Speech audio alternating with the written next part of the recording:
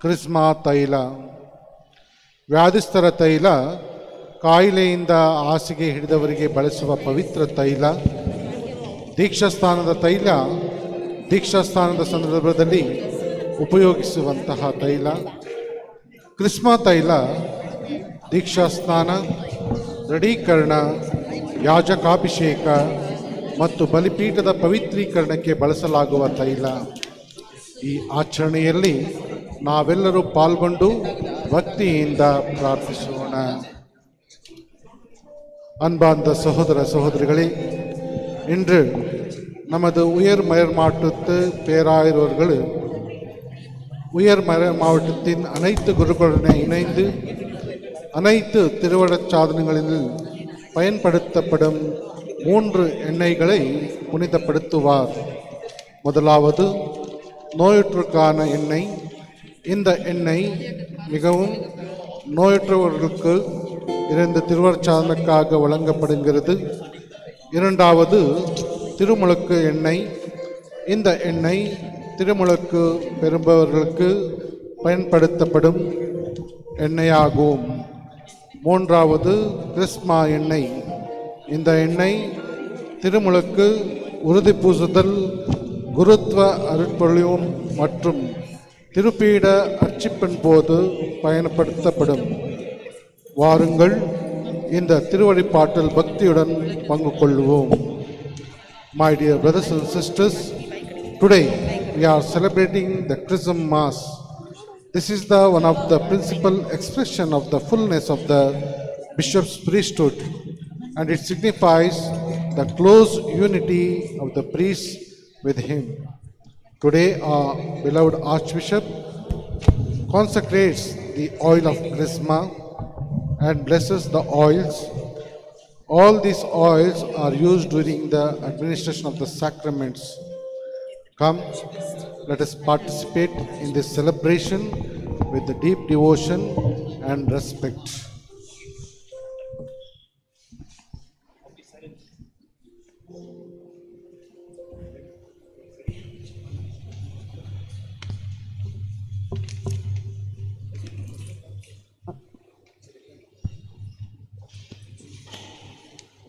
What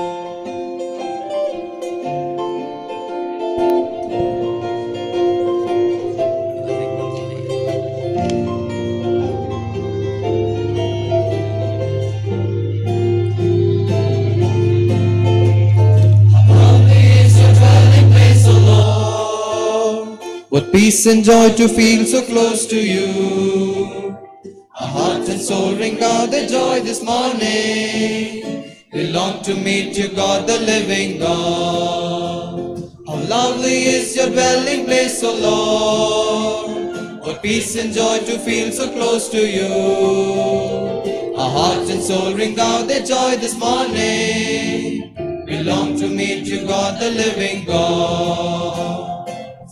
Even is found a shelter. The swallow by your altars builds a nest. Oh, happy those whose dwelling is your temple. Who day by day your praises sing, O Lord. How lovely is your dwelling place, O Lord. What peace and joy to feel so close to you. Our heart and soul ring out their joy this morning. We long to meet you, God, the living God.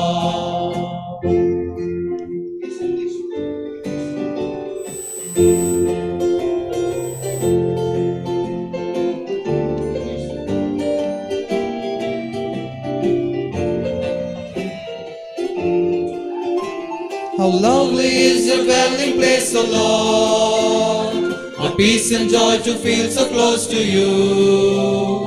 Our heart and soul ring out their joy this morning. We long to meet you, God, the living God. How lovely is your dwelling place, O Lord. What peace and joy to feel so close to you. Our heart and soul ring out their joy this morning. We long to me, to God, the living God. The sparrow even here has found a shelter. The swallow by your altars builds a nest. Oh, happy those whose dwelling is your temple. Who day by day your praises sing, O Lord.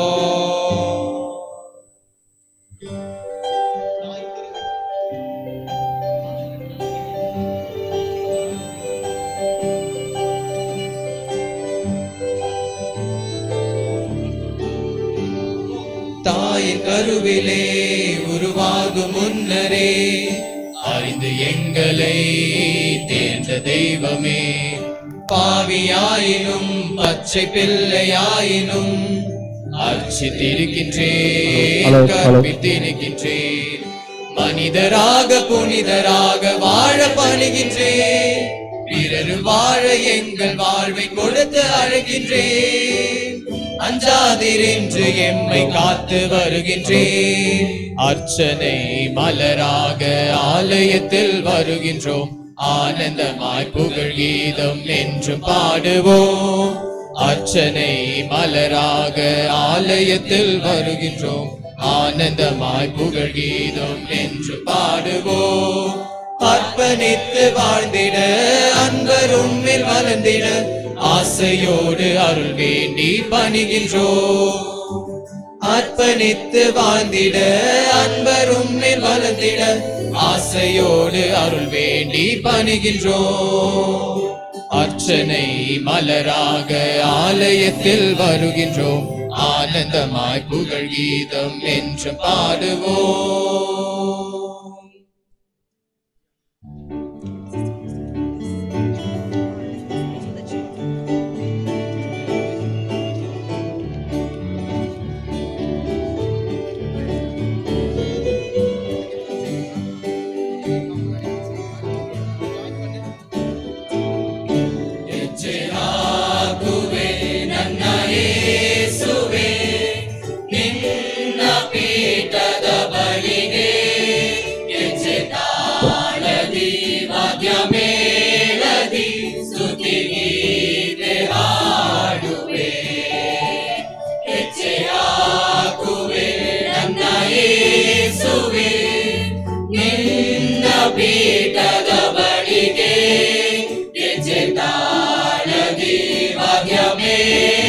You.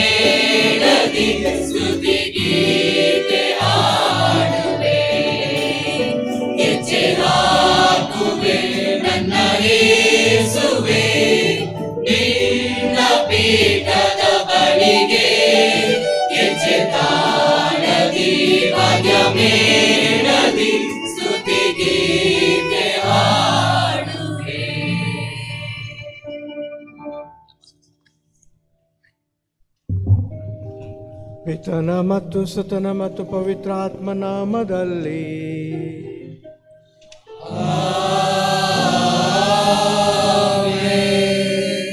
ನಮ್ಮ ಪ್ರಭು ಕ್ರಿಸ್ತರ ಕೃಪಾವರವು ದೇವರ ಪ್ರೀತಿಯು ಪವಿತ್ರಾತ್ಮರುನ್ನತೆಯು ನಿಮ್ಮೆಲ್ಲೊಡನೆ ಇರಲಿ.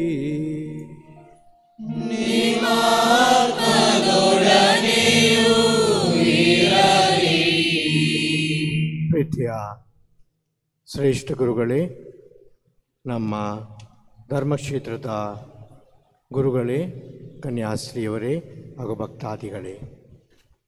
ಬಹಳ ಸಂತೋಷದಿಂದ ನಾವು ಇವತ್ತು ನೆರೆದಿದ್ದೇವೆ. ಮತ್ತು ನಮ್ಮ ಕಥೋಲಿಕ ದಿವಸಗಳಲ್ಲಿ ಪಂಚಾಂಗದಲ್ಲಿ ಒಂದು ಮುಖ್ಯ ದಿವಸ. ಪವಿತ್ರ ಆತ್ಮರಿಂದ ಪಡೆದುಕೊಟ್ಟಂತಹ ಪ್ರತಿಯೊಂದು ವರವನ್ನು ನೆನೆಸ್ಕೊಳ್ಳುವಂತಹ ದಿವಸ. ಪವಿತ್ರ ತೈಲಗಳನ್ನು ಪವಿತ್ರೀಕರಣಿಸುವ ದಿವಸ. ಹಾಗೂ ನಮ್ಮ ಯಾಜಕರ ತಮ್ಮ ಸಂಸ್ಕಾರವನ್ನು ಸ್ವೀಕರಿಸಿ ದೇವರ ಸೇವೆಯಲ್ಲಿ ಸಲ್ಲಿಸುವಂಥ ಪ್ರತಿಯೊಂದು ಕ್ಷಣವನ್ನು ಸಮರ್ಪಣೆ ಮಾಡುವಂಥ ದಿವಸ. ಇದೇ ದಿವಸ ನಾವು ಕೂಡ ಯೇಸು ಕ್ರಿಸ್ತರ ಪವಿತ್ರ ಶರೀರ ಮತ್ತು ರಕ್ತವನ್ನು ತಮಗೆ ಸಮರ್ಪಿಸಿಕೊಟ್ಟು ಈ ಪವಿತ್ರ ಸಂಸ್ಕಾರವನ್ನು ಘಟಿಸಿದ, ಸಂಸ್ಕರಿಸಿದ ಮತ್ತು ಅದರ ಮುಖಾಂತರ ನಾವು ಜನರಿಗೆ ಸಬಲರಾಗಿ, ವಿಶೇಷವಾಗಿ ತಮ್ಮ ಪವಿತ್ರ ಜೀವನವನ್ನು ಸಾರಿಸಲು ಕೊಡುವಂಥ ಬಲ ಮತ್ತು ವರದ ದಿವಸ. ಪ್ರೀತಿಯ ಸಹೋದರ ಸಹೋದರಿ ಈ ಪವಿತ್ರ ಕರ್ಣದ ಮುಖಾಂತರ ನಾವು ಉಪಯೋಗಿಸುವಂಥ ತೈಲಗಳು ಮಹತ್ವದ ಸಂಸ್ಕಾರಗಳಿಗೆ ನಾವು ಉಪಯೋಗಿಸ್ತೀವಿ. ಈ ಸಂಸ್ಕಾರಗಳ ಮುಖಾಂತರ ಪ್ರತಿಯೊಂದು ಸಂಸ್ಕಾರ, ಪ್ರತಿಯೊಂದು ವಿಷಯ ಮತ್ತು ನಮ್ಮ ಜೀವನದಲ್ಲಿ ಕಳೆಯುವಂಥ ಪ್ರತಿಯೊಂದು ದಿವಸ ನಾವು ದೇವರಿಗೆ ಸಮರ್ಪಿಸುತ್ತೇವೆ. ಈ ವರ್ಷ ನಮ್ಮ ಧರ್ಮಕ್ಷೇತ್ರದಲ್ಲಿ ಕುಟುಂಬದ ವರ್ಷ ಅಂದ್ಕೊಂಡು ನಾವು ಘೋಷಿಸಿದ್ದೇವೆ. ಮತ್ತು ಪ್ರತಿಯೊಂದು ಕುಟುಂಬದಲ್ಲಿ ಈ ದೇವರ ಪವಿತ್ರ ಆತ್ಮರ ಪವಿತ್ರಕರಣ ತೈಲ ಮುಖಾಂತರ ನಮಗೆ ಸಿಗಲೆಂದು ನಾವು ಪ್ರಾರ್ಥಿಸುತ್ತೇವೆ My dear brothers and sisters, it's a very special day in the calendar of the church today, the Christmas day, on which day we also recognize our own priesthood and bless and thank God, and also the sacrament of Eucharist, which strengthened our families. We have declared this year as the year of the family. Let us pray for the families because everything that we do, whether it's the blessing of the oils, whether blessing the sacrament of the Eucharist, our own priesthood, is for the sake of the families, to strengthen and to sanctify the families. Let us pray for these special intentions as we celebrate the Eucharist. ಸಹೋದರ ಸಹೋದರಿ ಈ the ಪವಿತ್ರ ರಹಸ್ಯಗಳನ್ನು ಆಚರಿಸಲು ನಾವು ಯೋಗ್ಯರಾಗುವಂತೆ ನಮ್ಮ ಪಾಪಗಳನ್ನು ಒಪ್ಪಿಕೊಳ್ಳೋಣ. ಸರ್ವಶಕ್ತ ದೇವರಿಗೂ ಯೋಚನೆಯಿಂದಲೂ ನಡತೆಯಿಂದಲೂ ಕರ್ತವ್ಯ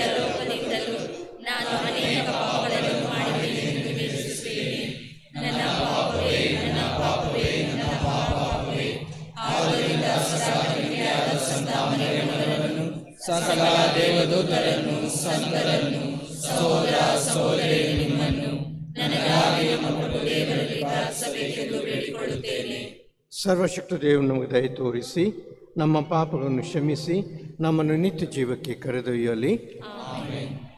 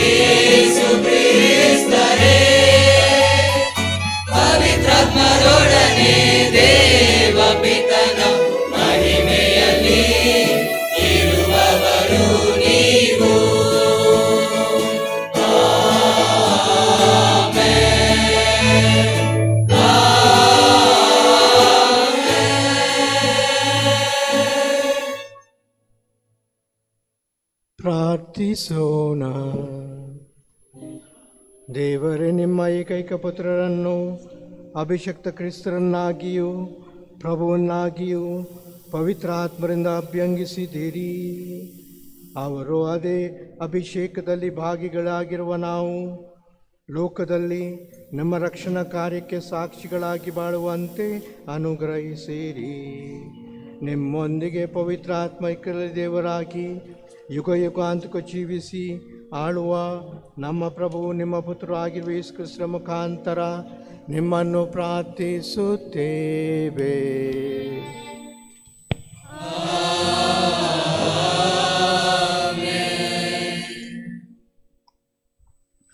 ಪ್ರಿಯರೇ, ಇಂದಿನ ಮೊದಲನೆಯ ವಾಚನವನ್ನು ಪ್ರವಾದಿ ಯಶಾಯನ ಗ್ರಂಥದಿಂದ ಆರಿಸಲಾಗಿದೆ. ಸರ್ವೇಶ್ವರ ಸ್ವಾಮಿ ನನ್ನನ್ನು ಅಭಿಷೇಕಿಸಿ, ಅಭ್ಯಂಗಿಸಿ, ದೀನದಲಿತರಿಗೆ ಶುಭ ಸಂದೇಶವನ್ನು ಬೋಧಿಸಲೆಂದು, ದುಃಖಿಸುವವರಿಗೆ ಸಾಂತ್ವನವನ್ನು ನೀಡಲೆಂದು ನನ್ನನ್ನು ಕಳುಹಿಸಿದ್ದಾರೆ ಎಂದು ಯಶಾಯನು ಪ್ರಕಟಿಸುವುದನ್ನು ಈ ವಾಚನದಲ್ಲಿ ಆಲಿಸುತ್ತೇವೆ. Today's first reading is taken from the book of Isaiah prophet Isaiah convincingly says that the Lord has anointed me to bring good news to the afflicted and to give them the oil of gladness.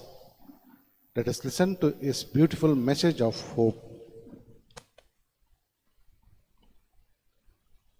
இறைவாக்கினர் ஏசையா நூலிலிருந்து வாசகம் ஆண்டவராகிய என் தலைவரின் ஆவி என் மேல் உள்ளது ஏனெனில் அவர் எனக்கு அருள் பொழிவு செய்துள்ளார் ஒடுக்கப்பட்டோருக்கும் நற்செய்தியை அறிவிக்கவும் உள்ளம் உடைந்தோரை குணப்படுத்தவும் சிறைப்பட்டோருக்கு விடுதலை பறைசாற்றவும் கண்டுண்டோருக்கு விடிவை தெரிவிக்கவும் என்னை அனுப்பியுள்ளார். ஆண்டவர் அருள் தரும் ஆண்டினை முழங்கவும் நம் கடவுள் அநீதிக்கு பழிவாங்கும் நாளை அறிவிக்கவும் துயருற்று அழுவோருக்கு ஆறுதல் அளிக்கவும் சீயோனில் அழுவோருக்கு ஆவன செய்யவும் சாம்பலுக்கு பதிலாக அழகு மாலை அணிவிக்கவும் புலம்பலுக்கு பதிலாக மகிழ்ச்சி தைலத்தை வழங்கவும் நலிவுற்ற நெஞ்சத்திற்கு பதிலாக புகழ் என்னும் ஆடையை கொடுக்கவும் என்னை அனுப்பியுள்ளார். நீங்களோ ஆண்டவரின் குருக்கள் என்று அழைக்கப்படுவீர்கள். நம் கடவுளின் திருப்பணியாளர் என்று பெயர் பெறுவீர்கள். அவர்கள் செயலுக்கு ஏற்ற கைமாற்றை உண்மையாகவே வழங்குவேன். அவர்களுடன் முடிவில்லா உடன்படிக்கையை செய்து கொள்வேன். அவர்கள் வழிமரபினர் பிறர் இனத்தாரிடையும் அவர்கள் வழித்தோன்றல்கள் மக்கள் இனங்கள் நடுவிலும் புகழ் அடைவார்கள். அவர்களை காண்பவர் யாவரும் அவர்களை ஆண்டவரின் ஆசி பெற்ற வழிமரபினர் என ஏற்றுக்கொள்வார்கள். இது ஆண்டவர் வழங்கும் அருள்வாக்கு.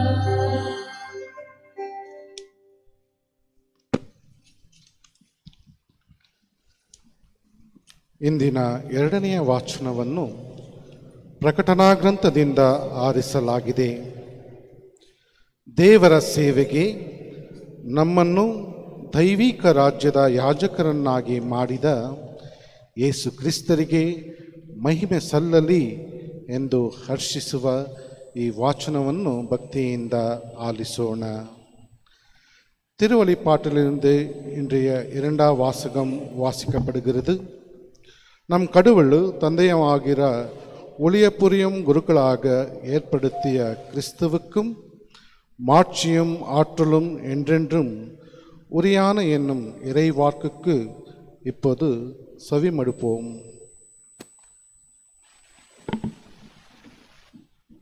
A reading from the book of Revelation. Grace to you and peace from Jesus Christ, the faithful witness, the firstborn of the dead, and the ruler of kings on earth. To him who loves us and has freed us from our sins by his blood and made us a kingdom, priests to his God and Father. To him be glory and dominion forever and ever. Amen.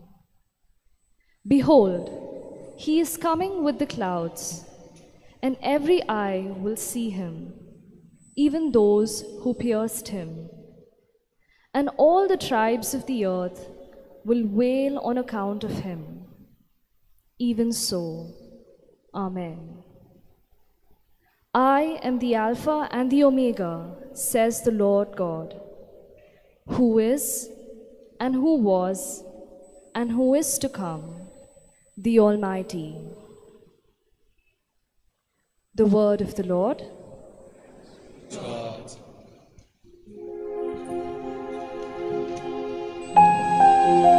ಯೇಸು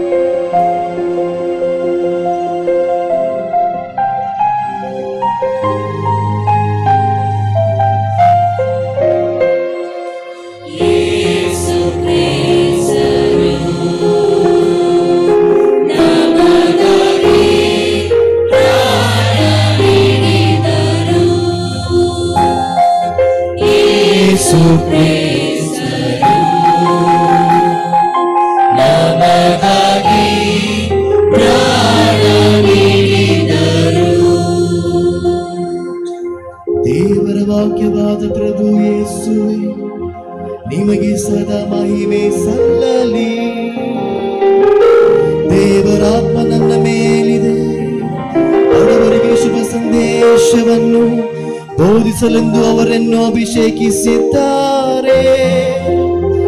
ದೇವರ ವಾಕ್ಯವಾದ ಪ್ರಭು ಯೇಸುವೆ ನಿಮಗೆ ಸದಾ ಮಹಿಮೆ ಸಲ್ಲಲಿ.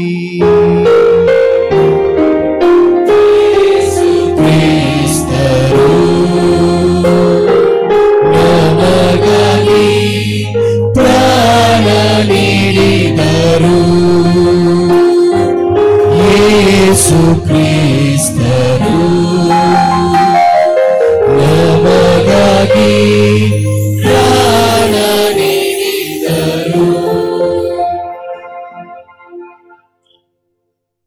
ಪ್ರಭು ನಿಮ್ಮೊಡನೆ ಇರಲಿ.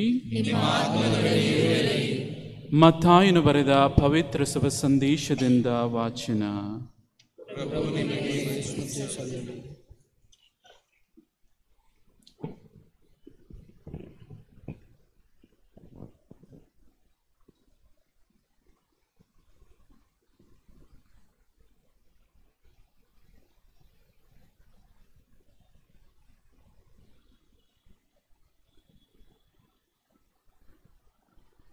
ಈ ಧರೆಗೆ ನೀವೇ ಉಪ್ಪು. ಉಪ್ಪೆ ಸಪ್ಪೆಯಾಗಿ ಬಿಟ್ಟರೆ ಅದಕ್ಕೆ ಇನ್ಯಾವುದರಿಂದ ಪುನಃ ರುಚಿ ಬಂದಿತು? ಇನ್ನು ಅದು ಕೆಲಸಕ್ಕೆ ಬಾರದ ವಸ್ತು. ಜನರು ಅದನ್ನು ಆಚೆ ಬಿಸಾಡುತ್ತಾರೆ. ದಾರಿಗರು ಅದನ್ನು ತುಳಿದು ಬಿಡುತ್ತಾರಷ್ಟೇ. ಜಗತ್ತಿಗೆ ನೀವೇ ಜ್ಯೋತಿ. ಬೆಟ್ಟದ ಮೇಲಿನ ಪಟ್ಟಣವನ್ನು ಮುಚ್ಚಿಡಲಾಗದು. ಅಂತೆಯೇ ಯಾರು ದೀಪವನ್ನು ಹಚ್ಚಿ ಬಟ್ಟಲ ಕೆಳಗೆ ಬಚ್ಚಿಡುವುದಿಲ್ಲ. ದೀಪಸ್ತಂಭದ ಮೇಲೆ ಇಡುತ್ತಾರೆ. ಆಗ ಅದು ಮನೆಯಲ್ಲಿರುವ ಎಲ್ಲರಿಗೂ ಬೆಳಕನ್ನು ಕೊಡುತ್ತದೆ. ಅದೇ ರೀತಿ ನಿಮ್ಮ ಜ್ಯೋತಿ ಜನರ ಮುಂದೆ ಬೆಳಗಲಿ. ಹೀಗೆ ಅವರು ನಿಮ್ಮ ಸತ್ಕಾರಿಗಳನ್ನು ಕಂಡು ಸ್ವರ್ಗದಲ್ಲಿರುವ ನಿಮ್ಮ ತಂದೆಯನ್ನು ಕೊಂಡಾಡಲಿ. ಪ್ರಭುವಿನ ಶುಭ ಸಂದೇಶ Kindly keep standing for the blessing.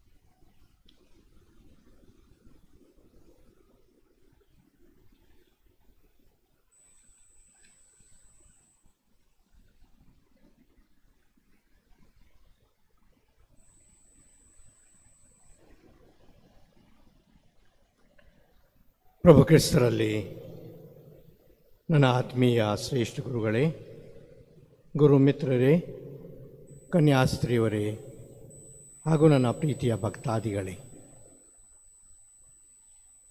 ನಿನ್ನೆ ಅಷ್ಟೇ ನಮ್ಮ ಚುನಾವಣೆ ಮತ್ತು ತಾರೀಕು ಆರಿಸುವುದು ಅಭ್ಯರ್ಥಿಗಳ ಬಗ್ಗೆ ಇದೆಲ್ಲ ಪ್ರಕಟಣೆ ಆಗಿದೆ. ಎಲೆಕ್ಷನ್ ಕೋಡ್ ಈಗ ಶುರುವಾಗುವುದಿದೆ ಮತ್ತು ಅದೇ ರೀತಿಯಲ್ಲಿ ನಮಗೂ ಕೂಡ ಹೊಸ ಮುಖಂಡರು ಬಹುಶಃ ಆರಿಸ್ಕೊಂಡು ಬರುವರಿದ್ದಾರೆ. ಆರಿಸಿಕೊಂಡು ಬರುವರಿದ್ದಾರೆ. ಆದರೆ ಆರಿಸುವವರು ಯಾರು? ಆರಿಸುವವರು ನಾವೆಲ್ಲ ಪ್ರಜೆಗಳು ಸೇರಿಕೊಂಡು ನಾವು ಓಟ್ ಹಾಕಿ ಒಬ್ಬ ಅಭ್ಯರ್ಥಿಗೆ ನಾವು ಆರಿಸ್ಕೊಂಡು ತರಿಸ್ತೇವೆ. ಮತ್ತು ಇದರಲ್ಲಿ ನಮ್ಮ ಬಲ ನಾವು ತೋರಿಸ್ಕೊಡ್ತೀವಿ. ಬೇಕಾದರೆ ನಮ್ಮ ಶಾಸಕರನ್ನು ನಾವು ಬದಲಾಯಿಸ್ಬೋದು, ಅಥವಾ ಯಾರೋ ಒಬ್ಬರನ್ನು ಮಾಡಿಸ್ಬೋದು, ಅಥವಾ ಕಿರಿಯರಾಗಲಿ, ಹಿರಿಯರಾಗಲಿ ಪೋಷಣ ಮಾಡ್ಬೋದು. ಇವತ್ತಿನ ಪೇಪರ್ ನಾನು ಓದ್ತಾ ಇದ್ದೆ. ಇಪ್ಪತ್ತ್ಮೂರು ವರ್ಷದ ಒಂದು ಬಾಲಕಿ ನಮ್ಮ ಬಳ್ಳಾರಿಯಲ್ಲಿ ಮೇಯರ್ ಹುದ್ದೆಯನ್ನು ಪಡೆದಿದ್ದಾರೆ. ಇಪ್ಪತ್ತ್ಮೂರು ವರ್ಷದ ಬಾಲಕಿ. ಅಂದರೆ ನಾವು ಏನೂ ಮಾಡಬಹುದು, ಯಾರಿಗೂ ಆರಿಸ್ಬೋದು ಆದರೆ ಇವತ್ತು ನಾವು ಆಚರಣೆ ಮಾಡುವಂಥ ದಿವಸ, ನಮ್ಮ ಯಾಜಕರ ದಿವಸ, ಬಹುಶಃ ಅದು ಒಂದು ರೀತಿಯಲ್ಲಿ ಉಲ್ಟಾ ಆಗಿದ ಹಾಗನ್ನಿಸ್ತದೆ ಆರಿಸೋರು ನಾವಲ್ಲ ಆರಿಸೋರು ದೇವರು. ಮತ್ತು ದೇವರು ಆರಿಸಿದಂಥ ಈ ಅಭ್ಯರ್ಥಿಗಳಿಗೆ ದೇವರು ನಮಗೆ ಸಮರ್ಪಿಸಿಕೊಂಡು ನಾವು ಕೂಡ ಅವ್ರ ಜೊತೆ ಇರಬೇಕು ಅವರು ನಮ್ಮ ಜೊತೆಗೆ ಇರುವರು, ಬೇಡುವರು ಅಂದ್ಕೊಂಡು ದೇವರು ನಮಗೆ ಹೇಳ್ಕೊಡ್ತಾ ಇದ್ದಾರೆ. ಬಹುಶಃ ದೇವರು ಕೊಟ್ಟಂಥ ಅಭ್ಯರ್ಥಿ ನಮ್ಗೆ ಯಾರಿಗೂ ಸರಿ ಕಾಣುವುದಿಲ್ಲ, ನಮಗೂ ಸರಿ ಸೇರುವುದಿಲ್ಲ. ಆದರೂ ಕೂಡ ದೇವರು ಆರಿಸಿದಂಥ ಅಭ್ಯರ್ಥಿಗಳು ನಾವಾಗಿದ್ದೇವೆ. ನಮ್ಮ ದಾವಿದನ ಜೀವನದಲ್ಲಿ ತನ್ನ ಮನೆಯವರೇ, ಕುಟುಂಬದವರೇ ಅವರಿಗೆ ಬೇಡ ಅಂದ್ಕೊಂಡು ಒಂದು ರೀತಿಯಲ್ಲಿ ನಿರಾಕರಿಸಿದಂಥ ಒಂದು ಅಭ್ಯರ್ಥಿ ಕೊಂಡೊಂದು ತೋರಿಸ್ಕೊಟ್ಟಿದ್ರು. ಆ ಅಜಸ್ಸೆ ಕೇಳಿದ ಆ ಜೆಸ್ಸೆಗೆ ಆ ಸಾಮ್ಯಲ್ ಪ್ರವಾದಿಗೆ ಕೇಳಿದಾಗ ಇಷ್ಟೇ ಮಕ್ಕಳು ಮತ್ತು ಯಾರೂ ಇಲ್ಲ? ಅವ್ರು ಹೇಳ್ತಾರೆ ಅಲ್ಲೊಬ್ಬರು ಇದ್ದಾನೆ ಅದಕ್ಕೆ ಯಾರಿಗೆ ಉಪಯೋಗ ಇಲ್ಲ. ಅವನ ದನ ಕಾಯ್ತಾ ಇದ್ದಾನೆ. ಆದರೆ ದೇವರನ್ನು ಆರಿಸಿದವನು ಅವರು. ಯಾಕೆ ದೇವರು ನಮ್ಮ ಮುಖಪುಟ, ನಮ್ಮ ಹೊರಗಿನ ಜೀವನ ಅಷ್ಟೇ ನೋಡುವರಲ್ಲ ನಮ್ಮ ಅಂತರಂಗ ನೋಡುವರು. ನಾವು ಇವತ್ತು ಸುಮಾರು ನೂರ ಐವತ್ತು ಗುರುಗಳು ಸೇರಿದ್ದೀವಿ. ಯಾಕೆ ಇವತ್ತು ನಮ್ಮ ದಿವಸ ಅಂದ್ಕೊಂಡು ನಾವು ಹೆಮ್ಮೆಯಿಂದ ನಮ್ಮ ಘೋಷಣೆ ಮತ್ತು ನಮ್ಮ ದೇವರಿಗೆ ಕೊಟ್ಟಂಥ ವಾಗ್ದಾನವನ್ನು ನಾವು ನವೀಕರಿಸುವಾಗ ದೇವರ ಆರಿಸೋಕೆ ತಪ್ಪದಲ್ಲ, ನಾವು ತಪ್ಪಿರಬಹುದು, ಆದರೆ ದೇವರು ನಮಗೆ ಒಳ್ಳೆಯ ರೀತಿಯಲ್ಲಿ ಆರಿಸಿದ್ರು ಅಂದ್ಕೊಂಡು ನಾವು ಹೇಳಿಕೊಡುವುದು. ನಾಲ್ಕು ವಿಷಯ. ಗುರುಗಳ ಬಗ್ಗೆ, ನಮ್ಮ ಆರಿಸುವಿಕೆ ಬಗ್ಗೆ. ಮೊಟ್ಟ ಮೊದಲಾಗಿ ದೇವರ ವಾಕ್ಯ. ದೇವರ ವಾಕ್ಯ, ನನ್ನ ಮೇಲಿದ ಸರ್ವೇಶ್ವರ ಸ್ವಾಮಿಯ ಆತ್ಮ, ನನಗೆ ಅಭಿಷೇಕ ಮಾಡಿ ಅಭಿಷೇಕ ಮಾಡಿ ಅವನು ಕಳಿಸಿದನು ಅವನು ಬಡವರಿಗೆ ಶುಭ ಸಂದೇಶ ಬೋಧಿಸಲೆಂದು, ಅದಕ್ಕಾಗಿ ಮೊಟ್ಟ ಮೊದಲಾಗಿ ಶುಭ ಸಂದೇಶ, ದೇವರ ವಾಕ್ಯ. ನಾವು ಗುರುಗಳಾಗಿದ ಮೇಲೆ, ನಾವು ದಿಯಾಕೋನಾಗಿದ್ದ ಮೇಲಿಂದ ನಾವು ಪ್ರತಿ ದಿವಸ ದೇವರ ವಾಕ್ಯ ಅಥವಾ ದೇವರ ಪ್ರಾರ್ಥನೆಗಳನ್ನು ನಮ್ಮ ಪುಸ್ತಕ ಬ್ರೀವಿರಿ ಅಂತೇವೆ, ನಾವು ಓದಲೇಬೇಕು. ದಿವಸಕ್ಕೆ ಎರಡು ಸಲ ಅಥವಾ ಮುಂಜಾನೆ ಮತ್ತು ಸಂಜೆ ಮತ್ತು ಮಧ್ಯಾಹ್ನ ಕೂಡ ನಾವು ಓದಲೇಬೇಕು. ಯಾಕಂದರೆ ಅದು ದೇವರ ವಾಕ್ಯ. ಅದನ್ನು ನಮ್ಗೆ ನೆನಪು ಮಾಡಿಕೊಡ್ತಿದೆ. ಇವತ್ತು ನೀನು ಹೊರಗೆ ಹೋಗುವಾಗ, ನೀವು ಒಳಗೆ ಹೊರಗೆ ಬರುವಾಗ ದೇವರು ನನ್ನ ಜೊತೆ ಇದ್ದಾರೆ. ಆ ಪುಸ್ತಕ ನಮ್ಗೆ ಭಾಳ ಪವಿತ್ರ. ನಾವು ಸಂಭಾಷ, ನಮ್ಮ ಬೋಧನೆ ಕೊಡುವಾಗ ದೇವರ ವಾಕ್ಯವನ್ನು ಬಿಡಿಸಿ ಇತರಿಗೆ ಹೇಳುವಾಗ ಆ ದೇವರ ವಾಕ್ಯ ಮುಖ್ಯತ್ತು ಎಷ್ಟೋ ಗುರುಗಳಿಗೆ ಅವರು ಬೈಬಲ್ ಅವರು ಇಟ್ಕೊಂಡಿದ್ದಾರೆ. ನಾನು ಒಬ್ಬ ಗುರುಗಳಿಗೆ ಭೇಟಿ ಕೊಟ್ಟಿದ್ದಾಗ ಅವ್ರ ಬೈಬಲ್ ನಾನು ನೋಡಿದ್ದೇನೆ, ನೋಡಿದರೆ ಸ್ವಲ್ಪ ಹರಿದಿದೆ, ಸ್ವಲ್ಪ ಅಷ್ಟು ಒಳ್ಳೆ ಕಾಣುವುದಿಲ್ಲ. ಆದರೆ ಆ ಗುರುಗಳನ್ನ ಹೆಮ್ಮೆ ಅಂತ ಹೇಳಿದರು. ಬಿಷಪ್, ನಾನು ಈ ಪುಸ್ತಕ, ಈ ಬೈಬಲ್ ಪುಸ್ತಕ ಮೂವತ್ತೈದು ವರ್ಷದಿಂದ ನಾನು ಉಪಯೋಗಿಸ್ತಾ ಇದ್ದೇನೆ. ಎಷ್ಟೋ ಟ್ರಾನ್ಸ್ಲೇಷನ್ ಬಂದಿರಬಹುದು ಆದರೆ ನಾನು ಮಾರ್ಕ್ ಮಾಡಿದ್ದು ನಾನು ಅದು ಬಿಟ್ಕೊಡ್ಲಿಕ್ಕೆ ಆಗುವುದಿಲ್ಲ ನಾನು ಇದೇ ಬೈಬಲ್ ನಾನು ಉಪಯೋಗ ಮಾಡ್ತಾ ಇದ್ದೀನಿ. ನಾನು ಇದನ್ನು ಭಾಳ ಒಳ್ಳೆಯದು ಭಾಳ ಒಳ್ಳೆಯದು. ನಮ್ಮ ಒಬ್ಬ ಗುರುಗಳು ತಾವು ಮೃತಪಟ್ಟಿದಾಗ ತನ್ನ ಸಮಾಧಿ ಪೆಟ್ಟಿಗೆಯಲ್ಲಿ ನನ್ನ ಬೈಬಲ್ ಇಡಬೇಕಂದ್ಕೊಂಡು ಒಂದು ಬರೆದಿದ್ದರು ಅಂದರೆ ಇದರ ಅರ್ಥ ಬೈಬಲ್ ಪುಸ್ತಕ ಶುಭ ಸಂದೇಶ ನಮಗೆ ಪ್ರತಿ ಅತಿ ಮುಖ್ಯವಾಗಿದೆ. ಎರಡನೇದಾಗಿ ಸಂಸ್ಕರಣೆ. ಇವತ್ತು ಪವಿತ್ರ ತೈಲದ ದಿವಸ. ಈ ತೈಲ ಆದರೆ ಯಾಕೆ ನಾವು ಉಪಯೋಗಿಸಬೇಕು? ನಾವು ಉಪಯೋಗಿಸುವುದು ಪ್ರತಿಯೊಂದು ಸಂಸ್ಕಾರಕ್ಕೆ ನಾವು ಸಂಸ್ಕರಣೆ ಮಾಡುವಾಗ, ಪವಿತ್ರೀಕರಿಸುವಾಗ ಅದನ್ನು ಉಪಯೋಗಿಸುವುದು ನಮ್ಮ ಕರ್ತವ್ಯವಾಗಿದೆ. ಮತ್ತು ಉಪಯೋಗಿಸುವುದು ಯಾರು? ನಾವು ಯಾಜಕರು.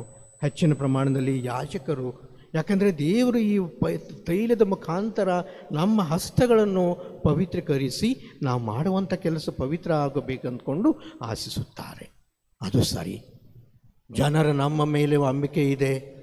ಇವರು ಯಾರೂ ಆಗಲಿ, ಆದರೆ ಅವ್ರ ಗುರುಗಳು, ಅವರ ಹಸ್ತಗಳು ಪವಿತ್ರಗಳು ಎಷ್ಟೋ ಮಂದಿ ನಮಗೆ ಥರ ಆಶೀರ್ವಾದ ಬೇಡ್ಲಿಕ್ಕೆ ಬರ್ತಿದ್ದಾರೆ. ಎಷ್ಟೋ ಮಂದಿ ನಿಮ್ಮ ಕೈ ಆದರೆ ಇಟ್ಟಿದ್ದು ಸಾಕು ಅಂದ್ಕೊಂಡು ಹೇಳ್ತಾ ಇದ್ದಾರೆ. ಭಾಳ ವರ್ಷ ಹಿಂದೆ ನಾನು ಕೂಡ ಒಬ್ಬ ಗುರುಗಳ ಮರಣ ಸಂಸ್ಕಾರಕ್ಕೆ ಹೋಗಿದ್ದೆ. ಸ್ವಲ್ಪ ತರುಣ ಯುವಕ,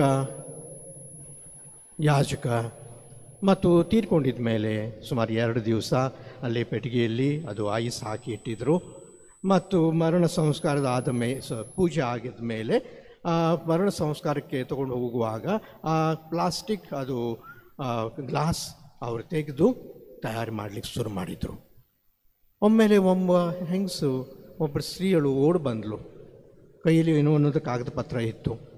ಮತ್ತು ಆ ಪೆಟ್ಟಿಗೆ, ಮೇಲಿನ ಪೆಟ್ಟಿಗೆ ತೆಗೆದ ಮೇಲೆ ಅವರು ಅಲ್ಲಿ ಮೊಣಕಾಲು ಹಾಕಿ, ಆ ಗುರುಗಳು ಕೈಯನ್ನು ಸ್ವಲ್ಪ ಜಗ್ಗಿ, ತನ್ನ ಪೇಪರ್ ಅವ್ರ ಕೈಯಲ್ಲಿ ಇಟ್ಕೊಂಡು ಏನೇನು ಮಾಡಿದ ಹಾಗೆ ಮಾಡಿಕೊಂಡು ಹೋಗ್ಬಿಟ್ರು. ನಮಗೆಲ್ಲ ಸ್ವಲ್ಪ ಅಸಹ್ಯ ಕಾಣ್ತು. ಯಾಕೆ ಆ ಗುರುಗಳ ಕೈ ಯಾಕೆ ಅವ್ರು ತೊಗೊಂಡಿದ್ರು, ಅವ್ರು ಇದಾಗಿದ್ದಾರೆ ಹಾಗಿದ್ದಾರೆ ಅಂದ್ಕೊಂಡು ಆದರೆ ಆ ಸಂಸ್ಕಾರ ಆದಮೇಲೆ ನಾವು ಭೇಟಿಯಾಗಿ ಅವ್ರು ಕೇಳಿದ ಮೇಲೆ ಅವ್ರು ಹೇಳಿದರು, ಫಾದರ್ ರೀ, ನಾವು ಒಂದು ಹೊಸ ಜಾಗವನ್ನು ತಗೊಂಡಿದ್ದೇವೆ. ಮತ್ತು ಅಲ್ಲಿ ಒಂದು ಮನೆ ಕಟ್ಟಬೇಕಂದಿದ್ದೇವೆ ಈ ಗುರುಗಳು ನಮಗೆ ಹೇಳಿದರು, ನಾನೇ ಬಂದ್ಕೊಂಡು ಅದನ್ನು ಆಶೀರ್ವಾದ ಮಾಡ್ತೇನೆ, ಆ ಜಾಗ ಆಶೀರ್ವಾದ ಮಾಡ್ತೇನೆ ಆಮೇಲೆ ಅಷ್ಟೇ ನೀವು ಶುರು ಮಾಡಬೇಕು ಅಂದ್ಕೊಂಡು ಹೇಳಿದರು. ಆದರೆ ಅಕಸ್ಮಿತವಾಗಿ ದೇವರು ಕರೆದಿದಾಗ ನಮಗದು ನೆನಪಾಯಿತು, ಏನೂ ಆಗಲಿ, ಅವ್ರ ಕೈಗಳು, ಅವ್ರು ಇರಲಿ, ಸಾಯಲಿ, ಅವ್ರ ಕೈಗಳು ಪವಿತ್ರ, ಅವ್ರ ಹಸ್ತ ಪವಿತ್ರ ಅದಕ್ಕಾಗಿ ಆ ಹಸ್ತಕ್ಕೆ ಮುಟ್ಟಿಕೊಂಡು ನಾನು ಬರಬೇಕಂತ ನನ್ನ ಆಸೆ ಇತ್ತು. ನಾನು ಹೆಚ್ಚು ಹೇಳಲಿಕ್ಕೆ ಹೋಗಲಿಲ್ಲ. ಯಾಕಂದರೆ ನನಗೂ ಕೂಡ ತಿಳಿತು ಜನರಿಗೆ ನಮ್ಮ ಮೇಲೆ ಎಷ್ಟು ಗೌರವ ಇದೆ. ಎಷ್ಟು ನಮ್ಮ ಹಸ್ತಗಳನ್ನು ಅವರು ಚಾಚಿಕೊಂಡು ಬಹುಶಃ ಅವರು ಮುತ್ತು ಕೊಡಬೇಕು ಅಂದ್ಕೊಂಡಿದ್ದಾರೆ ಯಾಕೆ? ಈ ಹಸ್ತದಿಂದ ಮಾಡುವಂಥ ನಾವು ಪವಿತ್ರ ಸಂಸ್ಕಾರಗಳು ಬಹಳಷ್ಟಿವೆ ಮತ್ತು ದೇವರ ಮುಖಾಂತರ ನಾವು ಮಾಡುವುದಿದೆ. ಮೂರನೇದಾಗಿ ನಾವು ಹೇಳ್ತೇವೆ, ನಮ್ಮ ಬಂಧಿತರಿಗೆ ನಾವು ಬಿಡುಗಡೆಯನ್ನು ಕೊಡುವುದು. ಬಂಧಿತರಿಗೆ ಬಿಡುಗಡೆಯನ್ನು ಕೊಡುವುದು. ಬಂಧಿತರಾದರೆ ಯಾರು? ಬಹುಶಃ ಜೈಲಲ್ಲಿದ್ದಂತೆ ನಮ್ಮ ಪ್ರಿಸನ್ ಮಿನಿಸ್ಟ್ರಿ ಅವ್ರು ಮಾಡೋರು ಭಾಳ ಮಂದಿ ಅವ್ರು ಭೇಟಿ ಕೊಟ್ಕೊಂಡು ಭಾಳ ಮಂದಿ ನಮ್ಮ ಒಳಗಿದ್ದಾರೆ. ಅವರಿಗೆ ಬಿಡುಗಡೆ ನಾವು ಮಾಡಬೇಕು. ಹೌದು, ಆದಷ್ಟು ಮಟ್ಟಿಗೆ ಪ್ರಯತ್ನ ಮಾಡೋಣ. ಆದರೆ ಬಿಡುಗಡೆ ಮಾಡೋರು ನಮ್ಮಲ್ಲೇ ಇದ್ದಾರೆ. ನನ್ನ ಮುಂದೆನೂ ಇದ್ದಾರೆ. ನಾನು ಹಿಂದೆನೂ ಇದ್ದಾರೆ. ನಮ್ಮ ಕುಟುಂಬದಲ್ಲಿ ಇದ್ದಾರೆ. ಬಹುಶಃ ಎಲ್ಲ ಬಿಟ್ಕೊಂಡು ನನಗೂ ಕೂಡ ಬಿಡುಗಡೆ ಆಗಬೇಕು. ಯಾಕೆಂದರೆ ಬಿಡುಗಡೆ ಅಂತ ವಿಷಯ ಒಂದು ಪವಿತ್ರ ವಿಷಯ. ಅದು ದೇವರು ನಮಗೆ ಬಿಡುಗಡೆ ಮಾಡಬೇಕು.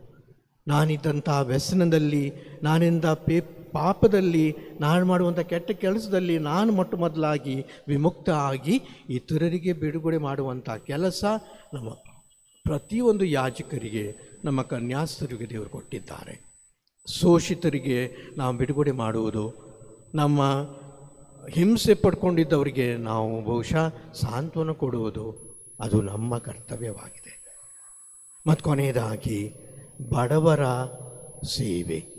ನಮ್ಮ ಪ್ರತಿಯೊಬ್ಬ ಗುರುಗಳಿಗೆ ಬಡವರ ಸೇವೆಯ ಒಂದು ಒಂದು ಚಿಕ್ಕ ಒಂದು ಒಂದು, ಅವರಿಗೆ ಒಂದು ಒಂದು ಪ್ಲೇಟ್ ಕೊಟ್ಟಿದ್ದ ಹಾಗೆ. ಯಾಕೆಂದರೆ ನಾವು ಬಡವರು ಅಂದ್ಕೊಂಡು ಇತರರಿಗೆ ನಾವು ಹೇಳ್ಕೊಡ್ಬೇಕು. ಬಡವರ ಸೇವೆ ಮಾಡಲಿಕ್ಕೆ ದೇವರು ನಮ್ಗೆ ಕಳಿಸಿದ ಅಂದ್ಕೊಂಡು ನಾವು ಕೂಡ ಹೇಳಬೇಕು. ನಾನು ಶ್ರೀಮಂತನಾಗಿದ್ದೇನೆ. ನನ್ನ ಹತ್ರ ಈಗ ಕಾರ್ ಇದೆ. ನನ್ನ ಹತ್ರ ಬಂಗ್ಲೋ ಇದೆ. ನನ್ನ ಹತ್ರ ಬಹುಶಃ ಭಾಳಷ್ಟು ನಾನು ಮಾಡುವಂಥ ಜ ಭಾಳ ಜನರು ಬರ್ತಾ ಇದ್ದಾರೆ. ಆದರೆ ಬಡವರಿಗೆ ದೂರ ಮಾಡಿದರೆ ದೇವರು ನಮಗೆ ಯಾವಾಗಲೂ ಕ್ಷಮಿಸುವುದಿಲ್ಲ. ಮತ್ತು ಬಡವರ ಸೇವೆ ಮಾಡಲಿಕ್ಕೆ ಬಹುಶಃ ದೇವರು ನಮಗೆ ವಿಶೇಷವಾಗಿ ಆರಿಸಿದ್ದಾರೆ. ಇವತ್ತು ಚುನಾವಣೆಯಲ್ಲಿ ಹೋಗಿ ನಾನು ಹೀಗೆ ಮಾಡ್ತೇನೆ, ಹಾಗೆ ಮಾಡ್ತೇನೆ ಇದು ಮಾಡಿದ್ದೇನೆ ಅಂದ್ಕೊಂಡು ಹೇಳೋರು ಭಾಳ ಮಂದಿ ಇದ್ದಾರೆ. ನಾನು ಯಾರಿಗೂ ಹೇಳಬೇಕಂತಿಲ್ಲ ನಾವು ಯಾರ ಮುಂದೆ ನಾವು ತೋರಿಸ್ಬೇಕಂತಿಲ್ಲ ಆದರೆ ದೇವರ ಮುಖಪುಟ ನಮ್ಮ ಯಾಜಕರದಲ್ಲಿ, ನಮ್ಮ ಕನ್ಯಾಸ್ತ್ರಲ್ಲಿ ನೋಡಬೇಕು. ನಿನ್ನೆ ಸಂಜೆ ನಾವು ನಮ್ಮ ಕೆ ಜಿ ಎಫ್ದಲ್ಲಿ ಒಂದು ವೃದ್ಧಾಶ್ರ, ವೃದ್ಧಾಶ್ರಮ Saint Vincent de Paul old age home ನೋಡಲಿಕ್ಕೆ ಹೋಗಿದ್ದವರು. ಮತ್ತು ಅವರು ಅಲ್ಲಿ ಡಿಸ್ಕಷನ್ ಮಾಡುವಾಗ ಇದ್ದಂಥ ಆ, ವ್ಯಕ್ತಿಗಳಿಗೆ ಸೇವೆ ಮಾಡಲಿಕ್ಕೆ ಯಾರು ಬೇಕಾಗ್ತಾರೆ? ಕೆಲವರು ಬರ್ತಾರೆ, ಕೆಲರು ಹೋಗ್ತಾರೆ. ಆದರೆ ನಮ್ಮ ಸಿಸ್ಟರ್ಸ್ ಬಂದರೆ, ಅವರು ನೋಡುವ ಹಾಗೆ ಮತ್ತು ಯಾರು ನೋಡುವುದಿಲ್ಲ ಅಂದ್ಕೊಂಡು ಹೇಳಿದ ಮೇಲೆ ಬಹಳ ತೃಪ್ತಿ ಆಯಿತು. ಮನೆ ಮಠ ಬಿಟ್ಕೊಂಡು ನಾವು ಬರ್ತಾ ಇದ್ದೇವೆ. ಯಾವುದೋ ಒಂದು ಸೇವೆ ಮಾಡಲಿಕ್ಕೆ ಎಲ್ಲೆಲ್ಲೋ ಹೋಗ್ತಾ ಇದ್ದಾರೆ.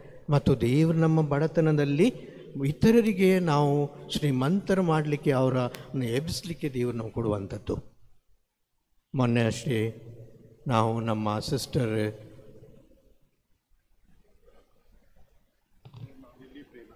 ಸಿಸ್ಟರ್ ಲಿಲ್ಲಿ ಪ್ರೇಮ ಅವರು ನಮ್ಮ ಪಾವಗಡದಲ್ಲಿ ಸೇವೆ ಮಾಡ್ತಿದ್ದವರು. ನಮ್ಮ ಪಾವಗಡ, ಆ, ಮಿಷನ್, ಆ, ಉಪಸ್ಥಾನ ನಾವು ಹತ್ತು ವರ್ಷ ಹಿಂದೆ ಆರ್ಚ್ ಬಿಷಪ್ ಬರ್ನಡ್ ಅವರು ಶುರು ಮಾಡಿದರು. ಅಲ್ಲಿ ಒಬ್ಬರು ಕ್ರೈಸ್ತರು ಇರಲಿಲ್ಲ ಆವಾಗ, ಈಗೂ ಕೂಡ ನಾನು ಕೇಳಿದ ಪ್ರಕಾರ ಫಾದರ್ ರಾಜರಾವ್ ಇದ್ದಾರೆ, ಎರಡು ಕುಟುಂಬದವರಷ್ಟೇ ಇದ್ದಾರೆ.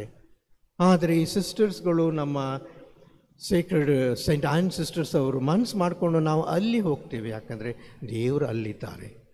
ಮತ್ತು ಅಲ್ಲಿ ಹೋಗಿ ಹತ್ತು ವರ್ಷದಿಂದ ನಮ್ಮ ಶಾಲೆ ನಡೆಸ್ತಾ ಇದ್ದಾರೆ, ಈ ಥರ ಸೇವೆ ಮಾಡ್ತಾ ಇದ್ದಾರೆ. ಮತ್ತು ಈ ಸಿಸ್ಟರ್ ಲಿಲ್ಲಿ ಪ್ರೇಮ ಅವರು ಯಾವುದೋ ಒಂದು ತನ್ನ ಪರೀಕ್ಷೆ ಕೆಲಸಕ್ಕೆ ಇಲ್ಲಿಂದ ಅಲ್ಲಿ ಹೋಗುವಾಗ ಪೇಪರ್ಸ್ ತೊಗೊಂಡು ಹೋಗುವಾಗ ಬಹುಶಃ ಆಕ್ಸಿಡೆಂಟ್ ಆಗಿ ತೀರಿಕೊಂಡ್ರು. ನಾನು ನಿನ್ನೆ ನಮ್ಮ ಶವ ಸಂಸ್ಕಾರದ ಈ ವೇಳೆಗೆ ನಾನು ಹೇಳಿದ್ದೇನೆ. ಬಹುಶಃ ಅಲ್ಲಿ ನಮಗೆ ದೇವಸ್ಥಾನ ಇಲ್ಲ, ಸ್ಮಶಾನ ಕೂಡ ಇಲ್ಲ. ಆದರೆ ಅಂಥ ಸ್ಥಳದಲ್ಲಿ ಒಬ್ಬರು ತಮ್ಮ ಜೀವವನ್ನು ದೇವರಿಗೆ ಕೊಡುವುದಂದರೆ ನನಗನ್ನಿಸ್ತದೆ ಪಾವಗಡ ಊರಿಗೆ ಸದಾ ದೇವರ ಆಶೀರ್ವಾದ ಇರುವುದು. ಇದೇ ನಮ್ಮ ಬಡ, ಬಡವರಿಗೆ ಮಾಡುವಂಥ ಕೆಲಸವಾಗಿದೆ. ಪ್ರೀತಿಯ ಸಹೋದರ, ಸಹೋದರಿ, ನಮ್ಮ ಜೀವನದಲ್ಲಿ ನಾವು ಮಾಡುವಂಥ ಪ್ರತಿಯೊಂದು ವಿಷಯದಲ್ಲಿ ದೇವರು ನಮಗೆ ಆರಿಸ್ಕೊಟ್ಟಿದ್ದಾರೆ. ದೇವರು ನಮ್ಗೆ ಆರಿಸಿದ್ದಾರೆ. ಅದು ನಾವು ಮರಿಲಿಕ್ಕೆ ಆಗೋದಿಲ್ಲ ನಾನು ಪಾಪ ಆಗಿರಬಹುದು, ನಾನು ಧರ್ಮ ಬಿಟ್ಟಿದ್ದನಾಗ್ಬೋದು ನಾನು ಗುರುಪಟ್ಟ ಬಿಟ್ಟಿದ್ದನಾಗ್ಬೋದು ಆದರೆ ದೇವರು ನನಗೆ ಆರಿಸಿದ್ದದ್ದು ನಾನು ಯಾವಾಗಲೂ ಮರಿಲಿಕ್ಕೆ ಆಗೋದಿಲ್ಲ ಮತ್ತು ಅವರು ಆರಿಸಿದ್ದದ್ದು ಮೊಟ್ಟ ಮೊದಲಾಗಿ ದೇವರದ ವಾಕ್ಯದ ಸೇವಕ್ಕೆ, ದೇವರದ ಸಂಸ್ಕರಣೆಯ ಸೇವಕ್ಕೆ ದೇವರ ಬಡವರ ಸೇವಕ್ಕೆ ಹಾಗೂ ಮ್- ಬಂಧಿತರಾದಂಥ ಜನರಿಗೆ ಬಿಡುಗಡೆ ಮಾಡಲಿಕ್ಕೆ ದೇವರು ನಮಗೆ ಆರಿಸಿದ್ದಾರೆ My dear brothers and sisters, we have taken the gospel today of the salt and the light. Salt and the light. Because this is a real symbol of the priesthood, the symbol, a real symbol of the service that we give to the others. First of all, we know the salt. It is very cheap. And I say our priests are cheap, perhaps yes. We don't count for anything.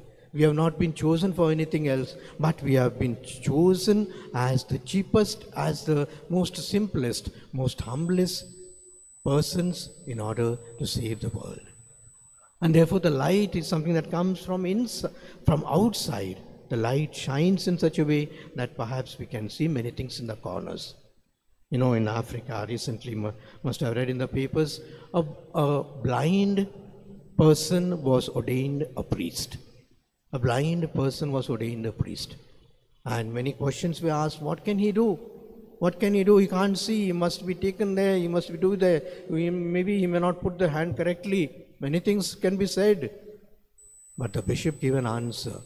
What he can see from his heart, perhaps none of us who have eyes can see the same saying which Jesus told us the light of Christ.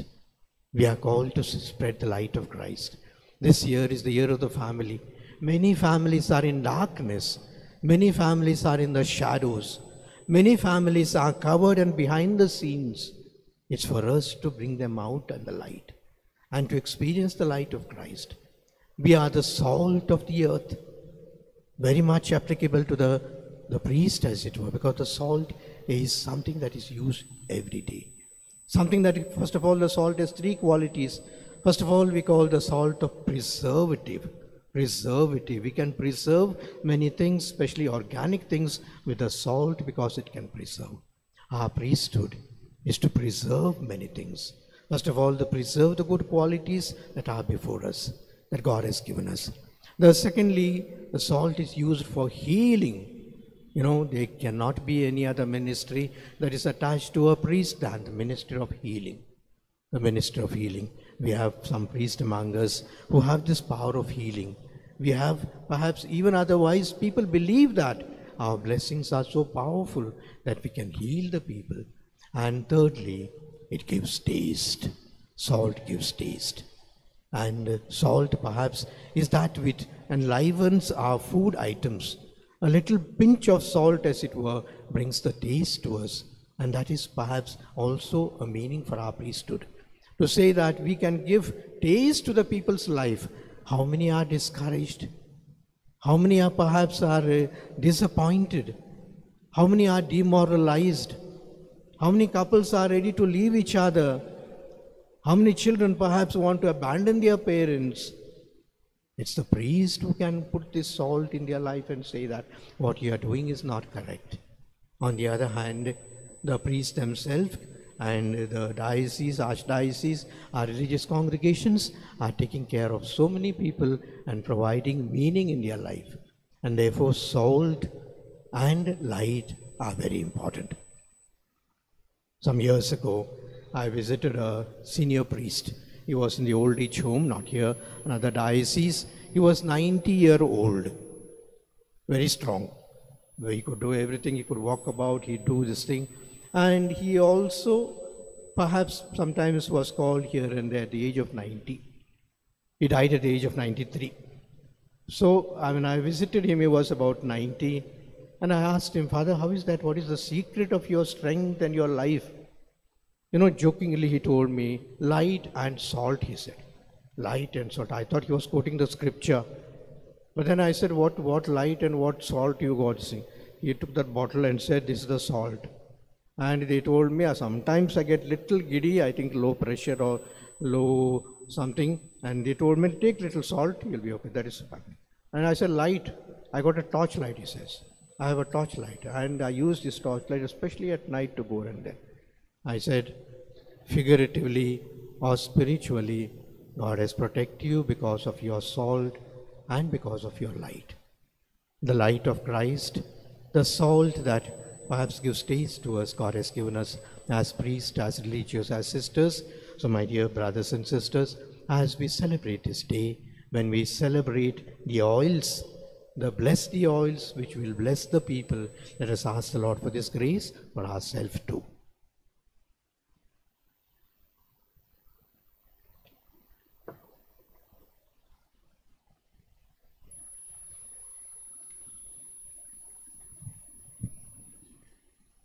என் அன்பு சகோதர குருக்களே அருள் சகோதரர்களே அருள் சகோதரிகளே அன்பேரி மக்களே முதற்கண் நம்முடைய பேராயர் Peter மெச்சாதருடைய சார்பிலும் நம்முடைய முதன்மை குரு முன்சினர் சி. பிரான்சிஸர் பெயராலும் என்னுடைய வாழ்த்துக்களை அன்பு சகோதர குருக்களுக்கும் ஒவ்வொருவருக்கும் இந்த நாளில் அன்புடன் வழங்குகின்றேன். அன்பிரி மக்களை இன்று நாம் அனைவரும் இந்த சிறப்பு திருப்பலையில் பங்கொள்ள வந்திருக்கின்றோம். இந்த திருப்பலியில் பேராயருடைய தலைமையில் மூன்று எண்ணெய்கள் புனிதமாக்கப்படும். அதாவது நோயில் பூசுதல் எண்ணெய் திருமுழுக்கு தயாரிப்பாளருக்கு வழங்கும் எண்ணெய் இவைகளை புனிதப்படுத்தப்படும். அடுத்தது கிறிஸ்மா என்னும் அந்த பரிமள தைலம் என்று அழைக்கப்படுகின்றோம் பழைய மொழியில். இதை பேராயர்வர்கள் அதை அவர் அருள் திரு அர்ச்சிப்பு செய்கின்றார். கான்சக்ரேஷன் எனவே நாம் அனைவரும் இந்நன்னாளில் சிறப்பாக அன்பு சகோதர குருக்கள் பேராருடைய தலைமையில் நாம் அனைவரும் தி- திருப்பலியை நாம் அனைவரும் நிறைவேற்றும் பொழுது நாம் இந்நன்னாளில் இறைவனுக்கு நன்றி கூற வேண்டும் அன்பு சகோதர குருக்களை. நாம் அனைவரும் தகுதியற்றவர்கள். பேரவர் சொன்னது போல we are unworthy. We are cheapest we are humblest. In the eyes of the world we are useless. But we have been chosen by God என்று சொன்னார். அதே போல நாம் அனைவரும் இறைவனால் தேர்ந்தெடுக்கப்பட்டிருக்கின்றோம் அருள் பொழிவு செய்யப்பட்டிருக்கின்றோம் அனாயின்ட் எனவே இறைவனுக்கு நன்றி கூறுவோம். அடுத்தது அன்பெரி மக்களை நாம் இறைவனுக்கு நம்மையே மறு அர்ப்பணம் செய்வோம். ரீகமிட் அவர் லைஃப் இறைவனுக்கு மறுகள். மூன்றாவது சகோதர அன்பில் நாம் அனைவரும் இணைந்து பாட முயற்சி செய்வோம். அன்பேரி மக்களுக்கு நன்றாக தெரியும். இன்றைய சூழ்நிலையில் ஜாதி மொழி இனம் இவ்வாறு நம்முடைய பாகுபாடுகள் இருக்கின்றது. குருக்களாக இருந்தாலும் சரி அருள் சகோதரராக இருந்தாலும் சரி சரி இரத்தாக இருந்தாலும் சரி இத்தகைய பாகுபாடு அன்பிறை மக்களை நம் ஒவ்வொருவரையும் இணைத்து இணைத்து வைப்பது கடவுளுடைய அன்பு கிறிஸ்துவனுடைய அன்பு. எனவே நாம் அனைவரும் கிறிஸ்துவ அன்பில் இணைந்து மக்களுக்கு நாம் முன்மாதிரியாக அந்த இணைப்பின் வழியில் நாம் அனைவரும் செல்ல வேண்டும். அது அடுத்தது நாம் போதிக்கும் மறையுரை அல்லது நாம் செய்யும் அந்த திருவிச்சாதனங்கள் வழங்கும் திருவிச்சாதனங்களை நாம் அனைவரும் ஆர்வத்தோடு பொருள் விதத்தில் அதை நாம் அனைவரும் செய்வோம் என்று நாம் இறைவனுக்கு வாக்குறுதி அளிப்போம். அடுத்தது இந்த தல திருச்சபையின் பேராருடைய அவரோடு ஒத்துழைத்து இந்த உயர்மறை மாவட்டத்தின் இந்த மெய்ப்பு பணியில் அவரோடு ஒத்துழைத்து கிறிஸ்து நற்செய்தியை பரப்ப நாம் முயற்சி செய்வோம். அடுத்தது நம்முடைய இளரத்தார் சகோதர சகோதரிகளுக்காக ஜெபிப்போம். மற்றும் புதிய விதத்தில் ஏனென்றால் உலகம் மாறிக்கொண்டு வருகின்றது.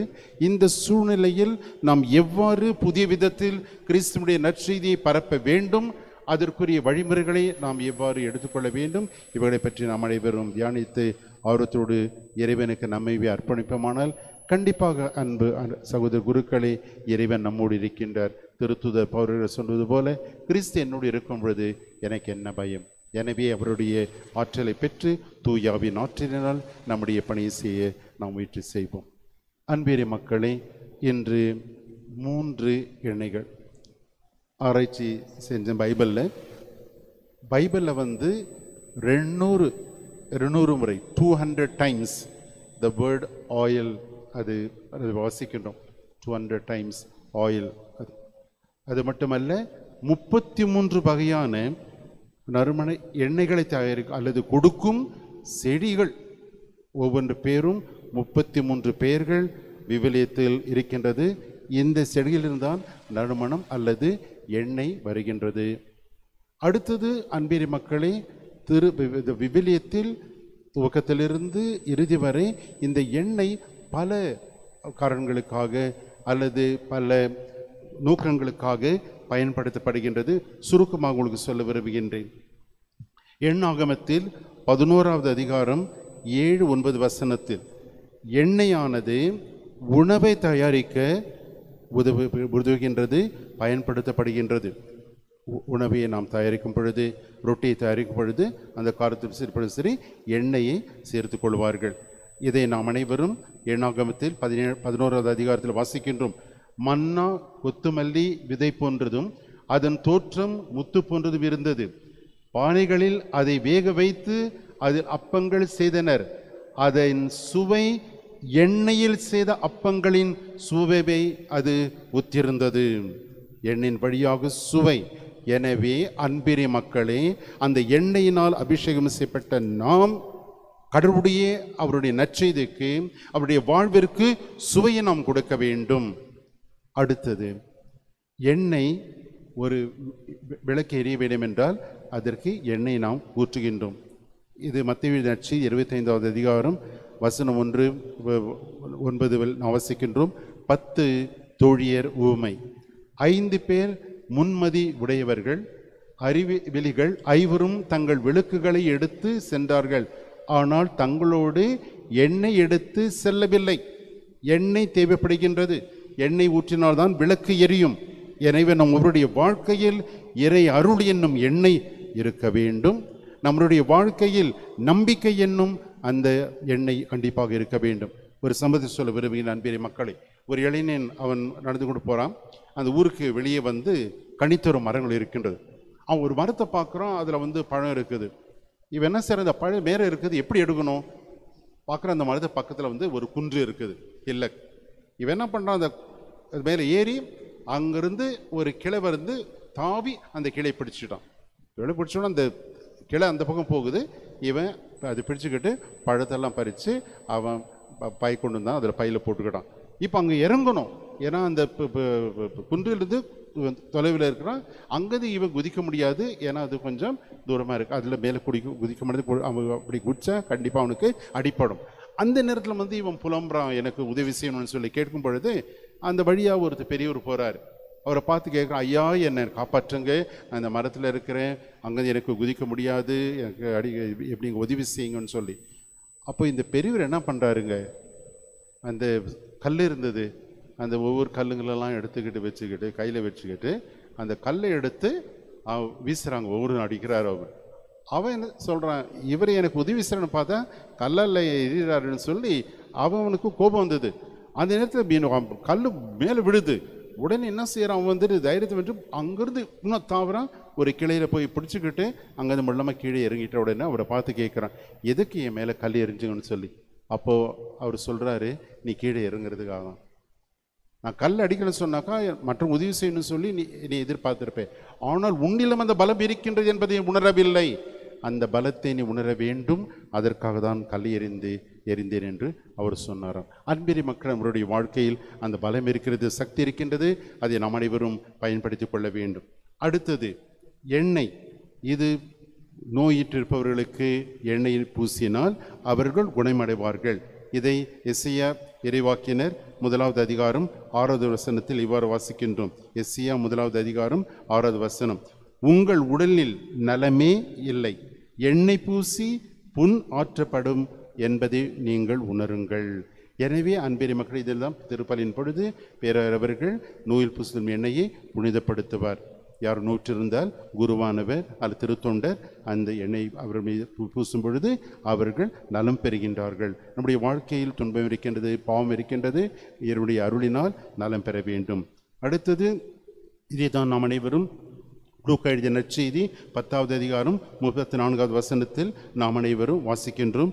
அதாவது அன்பேரி மக்கள் உங்களுக்கு தெரியும் அந்த சமாரத்தினுடைய அந்த உமையில் அவனை அழைத்து சென்று அவன் அவனுடைய அந்த பய அவன் சாவடிக்கு எடுத்து சென்று அவனுக்கு எண்ணெய் பூசி என்கிறார்கள். எனவே அவன் குணம் பெறுவதற்காக. அடுத்தது அன்பெரி மக்களே யாராகிலும் யூத யூத முறைப்படி யார் ஒரு வந்தால் அவர்களை உபச்சரிக்க அல்லது வரவழைக்க அவருடைய தலையை அபிஷேகம் செய்ய வேண்டும். இதை லூக்கா எழுதின செய்தி ஏழாவது அதிகாரம் நாற்பத்தி ஆறாவது வசனம் வாசிக்கின்றோம். நீர் எனது தலையில் எண்ணெய் பூசவில்லை. இவரோ என் காலடிகளில் நறுமணம் தைலம் பூசினார். எனவே வரவழைக்கும் பொழுது நாம் அபிஷேகம் செய்யப்படுகின்ற இறைவனை வரவழைக்க வேண்டும். நம்முடைய உள்ளத்திலும் இல்லத்திலும் நாம் இருக்கும் இந்த மறை மாவட்டத்தில் இறைவன் வரவழைக்க வேண்டும். அன்பெரி மக்களே எண்ணெய் அழுகை அதிகரிக்கின்றது. அழுகை அழகை அதிகரிக்கின்றது. இதை ரூத் நூலில் மூன்றாவது அதிகாரம் மூன்றாவது வசனத்தில் வாசிக்கின்றோம். நீ குளித்துவிட்டு எண்ணெய் தடவிக்கொண்டு உன்னிடமுள்ள ஆடைகளில் மிகவும் நல்லதை உடுத்திக்கொள். எண்ணெய் நம்முடைய அலங்காரத்தை அதிகரிக்கின்றது நம்முடைய அழகை அதிகரிக்கின்றது. கடவுள் எண்ணெயின் வழியாக திருமுழுக்கு ஞானசன் பொழுது மற்றும் நாம் உறுதி பூசல் பெறும் பொழுது மற்றும் குருக்கள் அவருடைய திருப்பொழிவு வேளையில் நாம் அபிஷேகப்பட்டிருக்கின்றோம் எனவே அன்பிரி மக்களே இதனுடைய ஆன்மீக அந்த உருவத்தை அது அலங்கரிக்கின்றது. இது உணர்ந்து வாழ வேண்டும். அடுத்தது அன்பிரி மக்களே யாராகிலும் ஒரு இறந்து விட்டால் அவர்களை எண்ணெய் பூசி அவர்களை அடக்கம் செய்கின்றார்கள். இதை மார்க் எழுதிய நற்செய்தி பதினாறாவது அதிகாரம் ஒன்றாவது வசனத்தில் வாசிக்கின்றோம். ஓய்வு நாள் உணிந்ததும் மக்தல மரியா யாக்கோபின் தாய் மரியா சலோமி ஆகியோர் அவரது உடலில் பூசுவதற்கென்று நறுமணம் எண்ணெயை பொருள்கள் அவர்கள் கொண்டு சென்றார்கள். இவ்வாறு இறக்கும் பொழுது. அடுத்தது அன்பிரி மக்களை நாம் வாசிக்கின்றோம் திருப்பா இருபத்தி மூன்று. அழகாக சொல்லப்பட்டிருக்கின்றது. என் தலையில் நறுமணம் தைலம் பூசுகின்றீர். எனது பாத்திரம் நிரம்பி வழிகின்றது. இவ்வாறு மற்ற ஆதரவு இருக்கின்றது அன்பிறை மக்களை. என்னை பற்றி. ஆனால் இந்த திருப்பலின் பொழுது நம்முடைய பேரவர்கள் ஒவ்வொரு ஜெபம் சொல்லும் பொழுது அதாவது நோய் நோய்களுக்காக அந்த ஜபத்தை சொல்லும் பொழுது அந்த எண்ணெய் எதற்காக பயன்படுத்தப்படுகின்றது? இந்த எண்ணெயினால் பூசப்படும் அந்த நோயாளி கடவுளுடைய அருளை பெற்று ஆன்மீக உடல் நலம் பெறுவதற்காக அவர் ஜெபிக்கின்றார். எனவே நாம் ஒவ்வொருவரும் உடல் ஆன்மீக நல்லதை பெறுவதற்காக ஜெபிக்க வேண்டும். அதிலும் சிறப்பாக நோயுற்றோர்கள் இந்த முழு அந்த நலனை பெறுவதற்காக மன்றாட வேண்டும். அடுத்தது திருமுழுக்கு தயாரிப்பாளர்களுக்கு அந்த எண்ணெயை புனிதப்படுத்தப்படும். பழைய கால ஆதி திருச்சபையில் திரு அவையில் அன்பெரி மக்களை யாரும் ஞானஸ்தானம் பெற வேண்டும் என்றால் திருமுழுக்கு பெற வேண்டும் என்றால் உடனே அவர் கொடுக்க மாட்டார்கள். அவங்க ஆறு மாதம் ஒரு வருஷம் அவங்க காத்துட்டு இருக்கணும். அதுக்கு முன்னால் அவங்கள வந்துட்டு இந்த அந்த தைலத்தால் அவர்களை அவர் அந்த தைலத்தை பூசி ஜெபிப்பார்கள். அதாவது நீ இறைவனை முழுமையாக ஏற்றுக்கொண்டு இறைவனுடைய பிள்ளையாகவும் திருச்சபையின் நீ உறுப்பினராக மாறப்போகின்றாய். எனவே இந்த தயாரிப்பு நாளில் நீ உன்னையே முழுமையாக அர்ப்பணிக்க வேண்டும் என்று. அதற்கு முன்னால் அன்பிறை மக்களை அந்த தைலத்தை பூசுவதற்கு முன்னால் பேயூட்டும் ஜெபம் இருக்கிறது? எக்ஸார்சிசம் அந்த ஜபத்தை சொல்லி தான் அடுத்தது இந்த நோயில் பூசல் இந்த திருமுழுக்கு பெறுவதற்கு தயாரிப்பு எண்ணெயே அவர்களுக்கு வழங்கப்படும். அடுத்தது கிறிஸ்மா இந்த பரிமளத்தில் அபிஷேகம் செய்கின்றார். இந்த அபிஷேகம் செய்யும் பொழுது பேராயர் அந்த ப- பாத்திரத்தை எடுத்து அதன் மீது ஊதுகின்றார் அன்பிரி மக்களை. அது ஊதுகின்றார். அதாவது ஆண்டருடைய ஆவி புது பிறப்பு. ஆதியிலே ஆண்டருடைய ஆவி அது அசைவாடி கொண்டிருந்தது அதே ஆவிதான் இந்த எண்ணெய் மீது இறங்கி இதால் அபிஷேகம் செய்யப்பட்ட ஒவ்வொருவரும் தூயாவின் ஆற்றலை பெற வேண்டும். எனவே இந்த கிறிஸ்மா மற்றும் தூயாவிற்கு இணைப்பிருக்கின்றது. அந்த ஜபத்தில் சொல்லும் பொழுது கூட அவர் அவ்வப்போது தூயாவின் ஆற்றலினால் இறைவா இவர்களை புனிதப்படுத்தியும் திருவுச்சாதன் வழியாக இவர்கள் தூயாவை பெற்று உமக்கு உகுந்த பிள்ளைகளாக வாழ்வார்களாக என்று சொல்வார். அடுத்தது இங்கே இருக்கும் எல்லா குருக்களும் அந்த ஜெபத்தின் இறுதி கட்டத்தில் கைகளை விரித்து பேராயரோடு சேர்ந்து அந்த ஜெபத்தை சொல்லுவார்கள். இவ்வாறு அவருடைய அந்த குருத்துவத்தில் நாம் அனைவரும் பங்கு கொண்டு அவரோடு ஒத்துழைக்க வேண்டும் என்று நாம் அனைவரும் இது வெளிப்படுத்துகின்றோம். எனவே இந்த அழகான அந்த பொருளுள்ள இந்த விழாவில் திருப்பலியில் பங்குள்ள வந்திருக்கின்றோம். நாம் அனைவரும் பக்தி விசுவாசத்துடன் நம்முடைய பேரவர்களுக்காகவும் எல்லா குருக்களுக்காகவும் நீங்கள் ஜெபிக்க உங்கள் ஒவ்வொரு ஒவ்வொருவரையும் பணிவன்படி கேட்டுக்கொள்கின்றேன். அன்பேரி மக்களே நாங்கள் உங்களுடைய ஊழியர்கள். பேரர் சொன்னது போல தந்தை பெற்றவர்கள் பெற்றோர்கள் உடன்பிறப்புகள் அனைவரும் விற்று தியாகம் செய்ய வந்திருக்கிறார்கள். எனவே நம்முடைய எங்களுடைய வாழ்க்கையில் குறைபாடு இருக்கும். நீங்கள் அதை பொருட்படுத்தாமல் எங்களோடு ஒத்துழைத்து எங்களுக்காக ஜெபியுங்கள். உங்களுடைய ஜெபம் எங்களுக்கு தேவை. நாங்களும் ஒவ்வொரு நாளும் உங்களுக்காக ஜெபிக்கின்றோம். இவ்வாறு நாம் அனைவரும் சேர்ந்து உழைப்போமானால் கண்டிப்பாக இறைவனுடைய அந்த நற்செய்தி இந்த உயர்மறை மாவட்டத்தில் எல்லா மக்களுக்கும் பரப்பப்படும். இதன் வழியாக ஆண்டவருடைய அருள் நம் மீது நிறைவாக இறங்கி வரும். இந்த கருத்துக்களுக்காக இந்த திருப்பலியில் இறைவனிடம் உருக்கமாய் மன்றாடுவோம். ஆமீன்.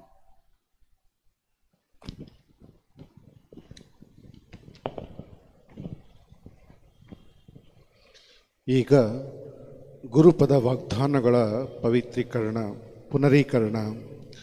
ಆತ್ಮೀಯರೇ, ಪ್ರಭು ಯೇಸು ಕಡೆಯ ಭೋಜನದ ಸಮಯದಲ್ಲಿ ಇದನ್ನು ನನ್ನ ಸ್ಮರಣೆಗಾಗಿ ಮಾಡಿರಿ ಎಂದು ಆಜ್ಞಾಪಿಸಿ ಪ್ರೇಷಿತರೊಡನೆ ಯಾಚಕ ಪದವಿಯನ್ನು ಹಂಚಿಕೊಂಡರು.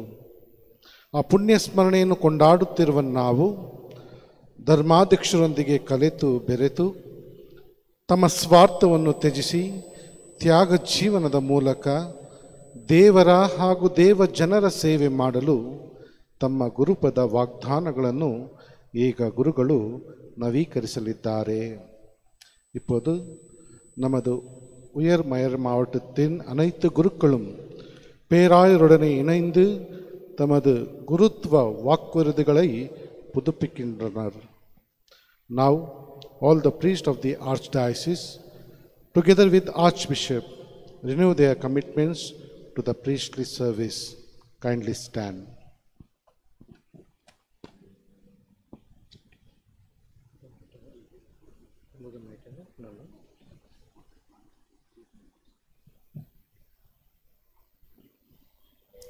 ಅತಿ ಪ್ರಿಯ ಸಹೋದರ ಸಹೋದರಿರೇ ಈ ದಿನ ನಾವು ಗುರುಪದ ಸ್ಥಾಪನೆಯ ಪುಣ್ಯ ಸ್ಮರಣೆಯನ್ನು ಕೊಂಡಾಡುತ್ತಿದ್ದೇವೆ ನಮ್ಮ ಕರ್ತ ಯೇಸು ಕ್ರಿಸ್ತರ ತಮ್ಮ ಪ್ರೀಷಿತರೊಡನೆಯೂ ನಮ್ಮೊಡನೆಯೂ ತಮ್ಮ ಯಾಜಕ ಪದವಿಯನ್ನು ಹಂಚಿಕೊಂಡರು. ಈಗ ನಿಮ್ಮ ಧರ್ಮಾಧ್ಯಕ್ಷರ ಹಾಗೂ ಇಲ್ಲಿ ನೆರೆದಿರುವ ಭಕ್ತಾದಿಗಳ ಸಮ್ಮುಖದಲ್ಲಿ ಯಾಜಕ ಪದವಿಯ ವಾಗ್ದಾನಗಳನ್ನು ಪುನರೀಕರಿಸಲು ನೀವು ಸಿದ್ಧರಾಗಿರುವಿರೋ? ನೀವು ಯಾಜಕ ದೀಕ್ಷೆಯನ್ನು ಪಡೆದು, ನೀವು ಯಾಜಕ ದೀಕ್ಷೆಯನ್ನು ಪಡೆದ ದಿನದಂದು ಯೇಸು ಕ್ರಿಸ್ತರ ಹಾಗೂ ಧರ್ಮಸಭೆಯ ಮೇಲಿರುವ ಪ್ರೀತಿಯಿಂದ ನಿಮ್ಮ ಪದವಿಯ ಜವಾಬ್ದಾರಿಯನ್ನು ವಹಿಸಿಕೊಂಡಿರಿ. ಈಗ ಸ್ವಾರ್ಥ ತ್ಯಾಗ ಮಾಡಿ ಯೇಸುಕ್ರಿಸ್ತರ ಅನುರೂಪಿಗಳಾಗಿ ಅವರೊಡನೆ ಅಧಿಕ ಐಕ್ಯತೆಯಿಂದ ಬಾಡಲು, ಬಾಳಲು ನೀವು ಬಯಸುತ್ತೀರೋ? ನೀವು ಪ್ರಾಮಾಣಿಕತೆಯಿಂದ ಪೂಜೆ ಸಂಸ್ಕಾರಗಳನ್ನು ನೆರವೇರಿಸಿ ನಮ್ಮ ಕರ್ತವ ನಮ್ಮ ಕರ್ತರ ವಾಕ್ಯವನ್ನು ಬೋಧಿಸಿ ನಿಮ್ಮ ಸ್ವಂತ ಹಿತವನ್ನು ಬಯಸದೆ ಜನರ ಸೇವೆಗಾಗಿ ದುಡಿದು ನಿತ್ಯ ಮೇಷಪಾಲರಾದ ಕ್ರಿಸ್ತರ ನಿಷ್ಠಾವಂತ ಭಕ್ತರಾಗಿ ನೀವು ಮಾಡುತ್ತೀರೋ?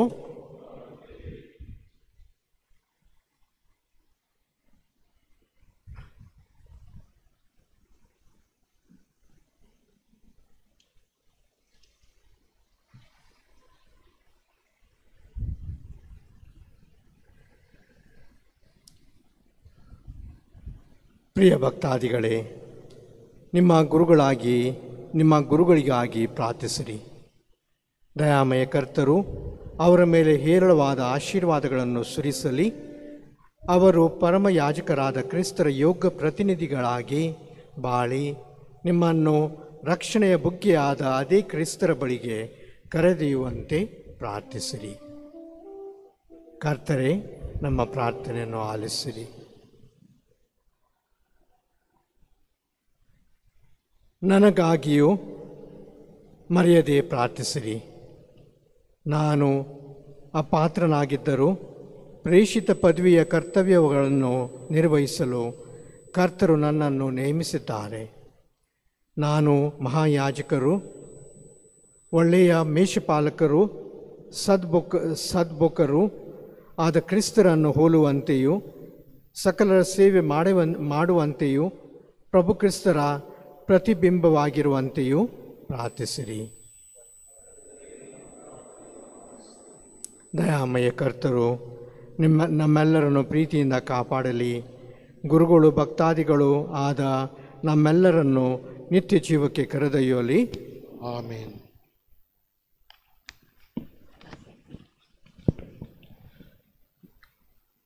ದಯವಿಟ್ಟು ಕುಳಿತುಕೊಳ್ಳಿ. ಈಗ ತೈಲಗಳ ಅರ್ಪಣೆ. ದೇವರು ಯಾಚಕ ರಾಜ, ಪ್ರವಾದಿಗಳನ್ನು ಒಂದು ವಿಶೇಷ ಕಾರ್ಯಕ್ಕೆ ಆರಿಸಿ ಅಭಿಷೇಕಿಸುವುದನ್ನು ಬೈಬಲ್ ಶ್ರೀ ಗ್ರಂಥದಲ್ಲಿ ನಾವು ಕಾಣುತ್ತೇವೆ. ಪ್ರಭು ಯೇಸು ದೇವರಾತ್ಮನನ್ನ ನನ್ನ ಮೇಲಿದೆ ದೀನದಲಿತರಿಗೆ ಶುಭ ಸಂದೇಶವನ್ನು ಬೋಧಿಸಲೆಂದು, ಬಂಧಿತರಿಗೆ ಬಿಡುಗಡೆಯನ್ನು, ನೊಂದವರಿಗೆ ಸಾಂತ್ವನ ನೀಡಲು ಅವರನ್ನನ್ನು ಕಳುಹಿಸಿದ್ದಾರೆ ಎಂದು ತಿಳಿಸಿದರು.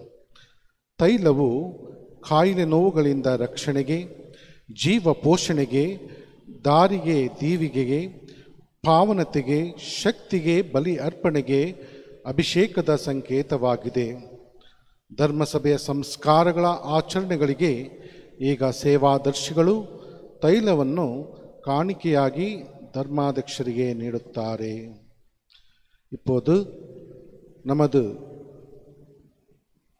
உயர் மறை மாவட்டத்தின் அனைத்து இப்போது எண்ணெய்களை ஆட்சிக்க திருநிகழு துகந்தப்படுது திருத்தொண்டர்களு ஆட்சிக்கப்பட இறைக்கு எண்ணெய்களை பவனியாக பீடத்துக்கு கொண்டு வருகிறார் now the rite of the blessing of oils begin the deacons bring the oils in procession to the archbishop and present them for the blessing.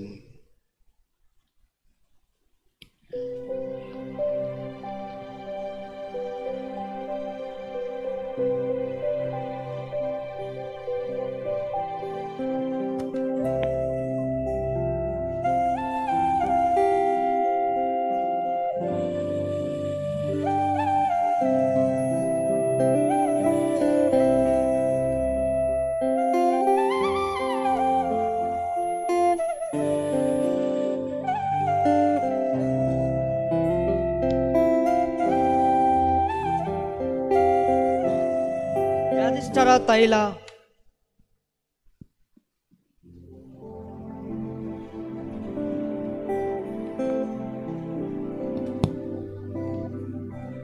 ದೀಕ್ಷಾ ಸ್ನಾನದ ತೈಲ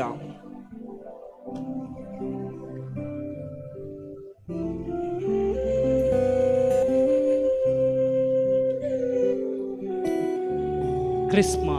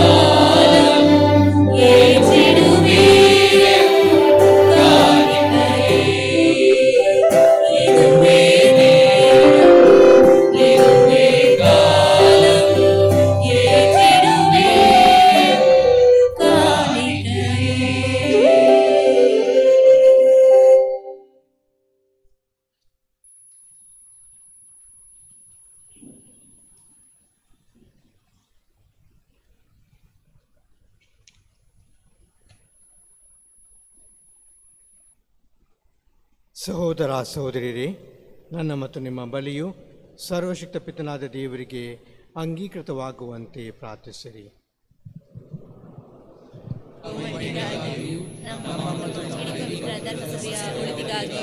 ಈ ಬಲಿಯನ್ನು ತಮ್ಮ ಕರಗಳಿಂದ ಸ್ವೀಕರಿಸಲಿ. ಪ್ರಭು ಈ ಬಲಿ ಅರ್ಪಣೆಯ ಶಕ್ತಿಯಿಂದ ನಮ್ಮ ಹಳೆತನವನ್ನು ದಯೆಯಿಂದ ಅಳಿಸಿ ಹಾಕಿ ನಮ್ಮಲ್ಲಿ ಹೊಸ ಜೀವವನ್ನು ಮತ್ತು ರಕ್ಷಣೆಯ ಕೃಪಾವರನ್ನು ಹೆಚ್ಚಿಸಿರಿ. ನಮ್ಮ ಪ್ರಭು ಕ್ರಿಸ್ತರ ಮುಖಾಂತರ ನಿಮ್ಮನ್ನು ಪ್ರಾರ್ಥಿಸುತ್ತೇವೆ.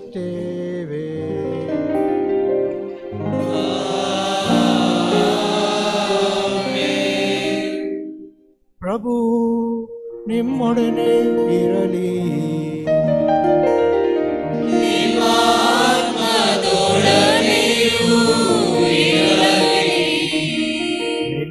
ಹೃದಯಗಳನ್ನು ಮೇಲೆ ಕೇತೀರಿ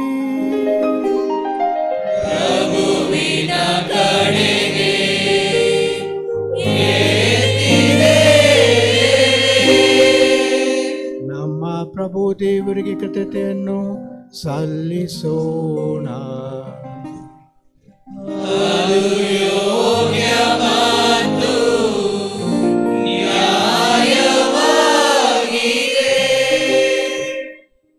ಪ್ರಭು ಪವಿತ್ರ ಪಿತನೆ, ಸರ್ವಶಕ್ತಿ ನಿತ್ಯ ದೇವರೇ, ನಾವು ಎಂದೆಂದೂ ಎಲ್ಲೆಲ್ಲೂ ನಿಮಗೆ ಕೃತಜ್ಞತೆಯನ್ನು ಸಲ್ಲಿಸುವುದು ನಿಜವಾಗಿಯೂ ಯೋಗ್ಯವೂ ನ್ಯಾಯವೂ ಆಗಿದೆ, ನಮ್ಮ ಕರ್ತವ್ಯ ರಕ್ಷಣೆಯೂ ಆಗಿದೆ.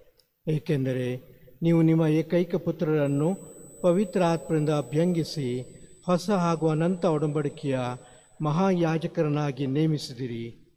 ನಮ್ಮ ಅತಿಶಯ ಯೋಜನೆಯಿಂದ ಅವರ ಈ ಏಕ ಏಕೈಕ ಯಾಜಕ ಸೇವೆಯು ಧರ್ಮಸಭೆಯಲ್ಲಿ ಮುಂದೆ ಮುಂದುವರಿಯಬೇಕೆಂದು ವಿಧಿಸಿದ್ದೀರಿ. ಏಕೆಂದರೆ ಯೇಸು ಕ್ರಿಸ್ತ ತಮ್ಮವರನ್ನಾಗಿ ಮಾಡಿಕೊಂಡ ಭಕ್ತರನ್ನು ತಮ್ಮ ಯಾಜಕತ್ವದಿಂದ ಅಲಂಕರಿಸುವುದು ಮಾತ್ರವಲ್ಲ, ತಮ್ಮ ಭ್ರಾತ್ಯ ಪ್ರೇಮದಿಂದ ಕೆಲವರನ್ನು ಆಯ್ಕೆ ಮಾಡಿಕೊಂಡು ಅವರ ಮೇಲೆ ಹಸ್ತ ನಿಕ್ಷೇಪ ಮಾಡುವುದರ ಮೂಲಕ ಅವರು ತಮ್ಮ ಪವಿತ್ರ ಸೇವಾ ಕಾರ್ಯದಲ್ಲಿ ಪಾಲರಾಗ, ಪಾಲುಗಾರರನ್ನಾಗಿ ಮಾಡಿದ್ದಾರೆ.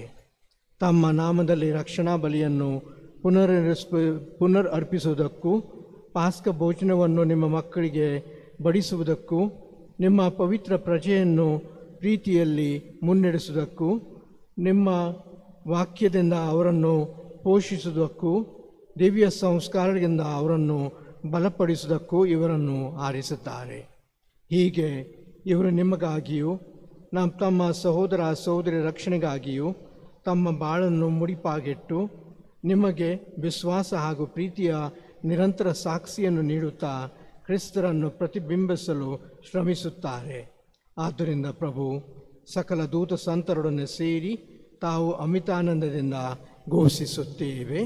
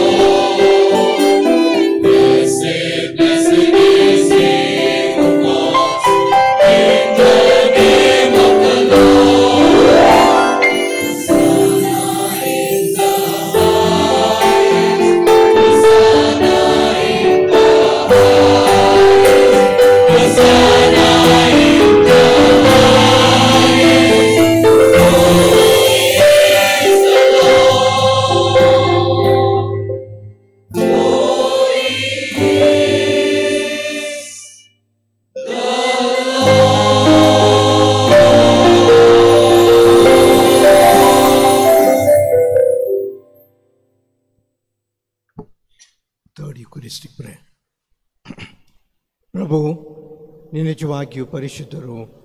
ನೀವು ಸೃಷ್ಟಿಸಿದ ಸಮಸ್ತವು ನಿಮ್ಮನ್ನು ಸ್ತುತಿಸುವುದು ಯುಕ್ತವಾಗಿದೆ. ಏಕೆಂದರೆ ನಿಮ್ಮ ಪುತ್ರ ನಮ್ಮ ಪ್ರಭು ಯೇಸು ಕ್ರಿಸ್ತರ ಮುಖಾಂತರ ನೀವು ಪವಿತ್ರ ಆತ್ಮರ ಕ್ರಿಯಾಶಕ್ತಿಯಿಂದ ಸಕಲವನ್ನು ಸಜೀವಗೊಳಿಸಿ ಪಾವನಗೊಳಿಸುತ್ತೀರಿ. ಸೂರ್ಯೋದಯದಿಂದ ಅಸ್ತಮಾನದವರೆಗೆ ನಿಮ್ಮ ನಾಮಕ್ಕೆ ನಿರ್ಮಲ ಬಲಿಯನ್ನು ಅರ್ಪಿಸುವಂತೆ ನಿಮ್ಮ ಪ್ರಜೆಯನ್ನು ಸತತವು ನಿಮ್ಮೊಂದಿಗೆ ಒಟ್ಟುಗೂಡಿಸುತ್ತೀರಿ. ಆದ್ದರಿಂದ ಪ್ರಭು ಪ್ರತಿಷ್ಠಾಪಿಸಲು ನಿಮ್ಮಲ್ಲಿಗೆ ತಂದಿರುವ ಕಾರ್ಯಗಳನ್ನು ಅದೇ ಪವಿತ್ರ ಆತ್ಮರ ಮುಖಾಂತರ ದಯೆಯಿಂದ ಪಾವನಗೊಳಿಸಿರಿ. ನಮ್ಮ ಇವು ನಮ್ಮ ಪ್ರಭುವು, ನಿಮ್ಮ ಪುತ್ರರು ಆದ ಯೇಸು ಕ್ರಿಸ್ತರ ಶರೀರ ಮತ್ತು ರಕ್ತವಾಗುವಂತೆ ಅವರ ಕಟ್ಟಳೆಯಂತೆಯೇ ಈ ರಹಸ್ಯವನ್ನು ಆಚರಿಸಲು ನಾವು ನಿಮ್ಮನ್ನು ದೈನದಿಂದ ಯಾಚಿಸುತ್ತೇವೆ. ಅವರನ್ನು ಅಪರಾಧನೆ ಮಾಡುವ ಸಮಯದಲ್ಲಿ ಅವರು ತಾವೇ ರೊಟ್ಟಿಯನ್ನು ತೆಗೆದುಕೊಂಡು ನಿಮಗೆ ಕೃತಜ್ಞತೆಯನ್ನು ಸಲ್ಲಿಸಿ ಆ ರೊಟ್ಟಿಯನ್ನು ಆಶೀರ್ವದಿಸಿ ಮುರಿದು ತಮ್ಮ ಶಿಷ್ಯಗೆ ಕೊಡುತ್ತಾ ಹೀಗೆಂದರು. ತೆಗೆದುಕೊಳ್ಳಿ, ಇದನ್ನು ನೀವೆಲ್ಲರೂ ಭುಜಿಸಿರಿ, ಏಕೆಂದರೆ ಇದು ನಿಮಗಾಗಿ ಒಪ್ಪಿಸಲಾಗುವ ನನ್ನ ಶರೀರ.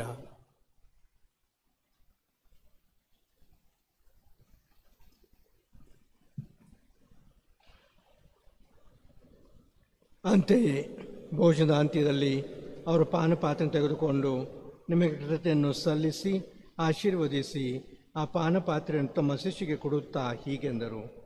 ತೆಗೆದುಕೊಳ್ಳಿ, ಮತ್ತಿದರಿಂದ ನೀವೆಲ್ಲರೂ ಪಾನ ಮಾಡಿರಿ. ಏಕೆಂದರೆ ಇದು ಹೊಸ ಮತ್ತು ಅನಂತ ಒಡಂಬಡಿಕೆ ರಕ್ತದ ಪಾತ್ರೆ. ಈ ರಕ್ತವು ನಿಮ್ಮ ಮತ್ತು ಅನೇಕರ ಪಾಪಗಳ ಪರಿಹಾರಕ್ಕಾಗಿ ಸುರಿಸಲಾಗುವುದು. ಇದನ್ನು ನನ್ನ ಸ್ಮರಣೆಗಾಗಿ ಮಾಡಿರಿ.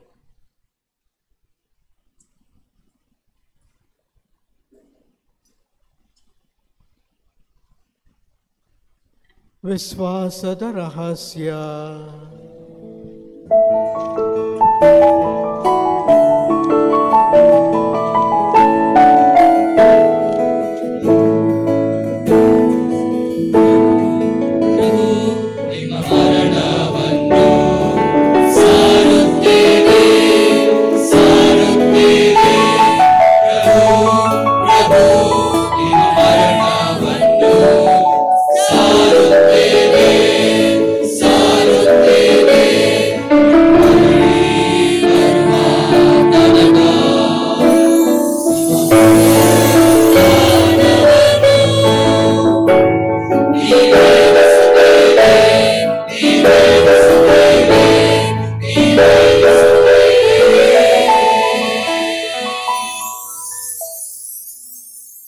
ಆದ್ದರಿಂದ ಪ್ರಭು, ನಿಮ್ಮ ಪುತ್ರ ರಕ್ಷಣಾ ಯಾತನೆ ಅವರ ಅದ್ಭುತಕರ ಪುರತಾನ ಹಾಗೂ ಸ್ವರ್ಗಾರೋಹಣದ ಸ್ಮರಣೆಯನ್ನು ಆಚರಿಸುತ್ತಾ ಅವರ ಪುನರಾಗಮನ ನಡೆಸಿರುವ ನಾವು ಈ ಪವಿತ್ರ ಹಾಗೂ ಜೀವಂತ ಬಲಿಯನ್ನು ನಿಮಗೆ ಕೃತಾರ್ಥಾರ್ಥವಾಗಿ ಅರ್ಪಿಸುತ್ತೇವೆ. ನಿಮ್ಮ ಧರ್ಮಸಭೆ ಬಲಿ ಕಾಣಿಕೆಗಳನ್ನು ವೀಕ್ಷಿಸಿರಿ. ನಿಮ್ಮ ಪುತ್ರರ ಮರಣದ ಮೂಲಕ ನಮ್ಮನ್ನು ನಿಮ್ಮೊಡನೆ ಸಂಧಾನಗೊಳಿಸಲು ನೀವು ಇಚ್ಛಿಸಿದ ಬಲಿಯನ್ನು ಅಂಗೀಕರಿಸಿರಿ. ಅವರ ಶರೀರ ಮತ್ತು ರಕ್ತದಿಂದ ಪೋಷಿತರಾದ ನಮ್ಮನ್ನು ಅವರ ಪವಿತ್ರ ಆತ್ಮಭರಿತರಾಗಿ ಕ್ರಿಸ್ತರಲ್ಲಿ ಒಂದೇ ಶರೀರ, ಒಂದೇ ಆತ್ಮರಾಗಿರುವಂತೆ ಅನುಗ್ರಹಿಸಿರಿ. ಅವರೇ ನಮ್ಮನ್ನು ನಿಮಗೆ ನಿತ್ಯ ಕಾಣಿಕೆಯನ್ನಾಗಿ ಮಾಡಲಿ. ನಿಮ್ಮಿಂದ ಆಯ್ಕೆಯಾದವರೊಂದಿಗೂ, ಎಲ್ಲರಿಗಿಂತ ಮಿಗಿಲಾಗಿ ಪತಿಪೂಜ್ಯ ದೇವಮಾತೆ ಕನ್ಯಾ ಮರಿಯಮ್ಮನವರೊಂದಿಗೂ, ಆಕೆಯ ಪತಿಸಂತ ಜೋಸೆಫರೊಂದಿಗೂ, ಪುನೀತ ಪ್ರೇಷಿತರೊಂದಿಗೂ, ಮಹಿಮಾಭರಿತ ರಕ್ತ ಸಾಕ್ಷಿಗಳೊಂದಿಗೂ ನಮ್ಮ ಪಾಲಕ ಸಂತರೊಂದಿಗೂ, ಸಕಲ ಸಂತರೊಂದಿಗೂ ನಿಮ್ಮ ನಿತ್ಯ ಆನಂದಕ್ಕೆ ಬಾಧ್ಯಸ್ಥರಾಗುವಂತೆ ಮಾಡಲಿ. ನಿಮ್ಮ ಸನ್ನಿಧಿಯಲ್ಲಿ ಇವರು ಮಾಡುವ ನಿರಂತರ ಭಿನ್ನಹದಿಂದ ನಿಮ್ಮ ಎಂದೂ ತಪ್ಪದ ನೆರವಿನಲ್ಲಿ ನಾವು ಭರವಸೆ ಇಟ್ಟಿದ್ದೇವೆ. ಪ್ರಭು, ನಮ್ಮ ನಿಮ್ಮನೆ ಸಂಧಾನಗೊಳಿಸುವ ಈ ಬಲಿಯು ಇಡೀ ಲೋಕದ ಶಾಂತಿ ಹಾಗೂ ರಕ್ಷಣೆಗೆ ನೆರವಾಗಲೆಂದು ಪ್ರಾರ್ಥಿಸುತ್ತೇವೆ. ನಿಮ್ಮ ಸೇವಕರಾದ ನಮ್ಮ ವಿಶ್ವಗುರು ಫ್ರಾನ್ಸಿಸ್ ಅವರೊಂದಿಗೂ ಮಹಾಧರ್ಮಾಧ್ಯಕ್ಷ ಪೀಟರ್ ಮಚಾದ ಅವರೊಂದಿಗೂ ಧರ್ಮಾಧ್ಯಕ್ಷ ಬರ್ಗದೊಂದಿಗೂ, ಸಕಲ ಯಾಜಕರೊಂದಿಗೂ, ನೀವು ನಮಗಾಗಿ ಗಳಿಸಿಕೊಂಡ ಸರ್ವ ಜನರೊಂದಿಗೂ, ಭೂಲೋಕದಲ್ಲಿ ಯಾತ್ರೆಯಲ್ಲಿರುವ ನಿಮ್ಮ ಧರ್ಮಸಭೆಯನ್ನು ಪ್ರೀತಿ ಮತ್ತು ವಿಶ್ವಾಸದಲ್ಲಿ ಸ್ಥಿರಗೊಳಿಸಿರಿ. ದಯಮಯ ತಂದೆಯೇ, ನಿಮ್ಮ ಸಮ್ಮುಖಕ್ಕೆ ನೀವು ಕರೆದಿರುವ ಈ ನಿಮ್ಮ ಕುಟುಂಬದ ಪ್ರಾರ್ಥನೆಗಳನ್ನು ಪ್ರಸನ್ನತೆಯಿಂದ ಆಲಿಸಿರಿ. ಭೂಲೋಕಾದ್ಯಂತ ಹರಡಿರುವ ನಮ್ಮ ಮಕ್ಕಳ, ಮಕ್ಕಳನ್ನೆಲ್ಲ ಕರುಣೆಯಿಂದ ನಿಮ್ಮೊಡನೆ ಒಂದುಗೂಡಿಸಿರಿ.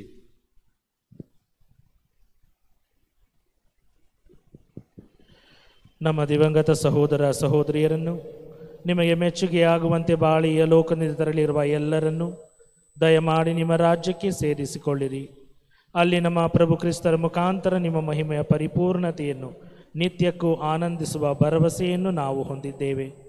ಅವರ ಮುಖಾಂತರವೇ ನೀವು ಲೋಕಕ್ಕೆ ಸರ್ವ ಒಳಿತನ್ನು ಅನುಗ್ರಹಿಸುತ್ತೀರಿ ಈಗ ನಮ್ಮ ಮಹಾಧರ್ಮಾಧ್ಯಕ್ಷರು ವ್ಯಾಧಿಸ್ಥರ ತೈಲವನ್ನು ಪವಿತ್ರೀಕರಿಸುತ್ತಾರೆ ಈ ತೈಲವು ಕಾಯಿಲೆಯಿಂದ ಹಾಸಿಗೆ ಹಿಡಿದವರಿಗೆ ಬಳಸುವ ಪವಿತ್ರ ತೈಲವಾಗುತ್ತದೆ இப்போது நமது பேராயர் அவர்கள் நோயாளிகள் எண்ணெயை அர்ச்சிக்கின்றார் இந்த எண்ணெய் நோயுற்றோருக்கு இருந்து திருவரச்சாதனமாக பூசப்படும் எண்ணெயாகும் Now the oil of the sick is blessed by the Archbishop.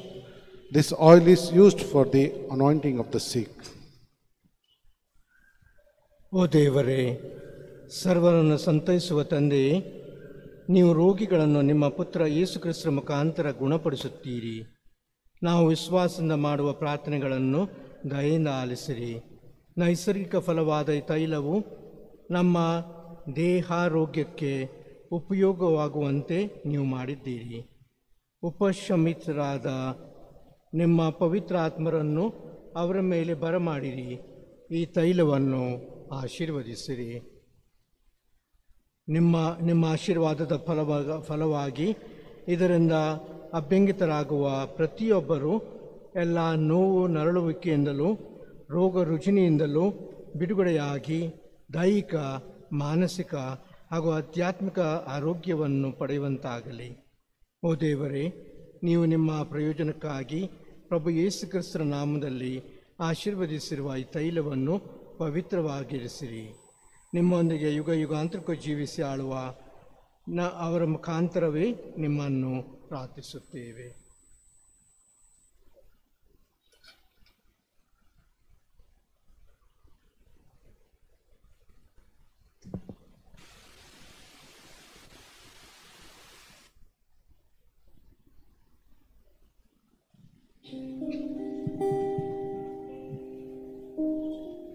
ಇವರ ಮುಖಾಂತರವು ಇವರೊಂದಿಗೂ ಇವರಲ್ಲಿಯೂ ಸರ್ವಶಕ್ತ ತಂದೆಯಾದ ದೇವರೇ ಪವಿತ್ರಾತ್ಮರ ಐಕ್ಯದಲ್ಲಿ ಸರ್ವ ಗೌರವ ಮಹಿಮೆಯು ಯುಗ ಯುಗಾಂತರಕ್ಕೂ ನಿಮಗೆ ಸಲ್ಲಲಿ.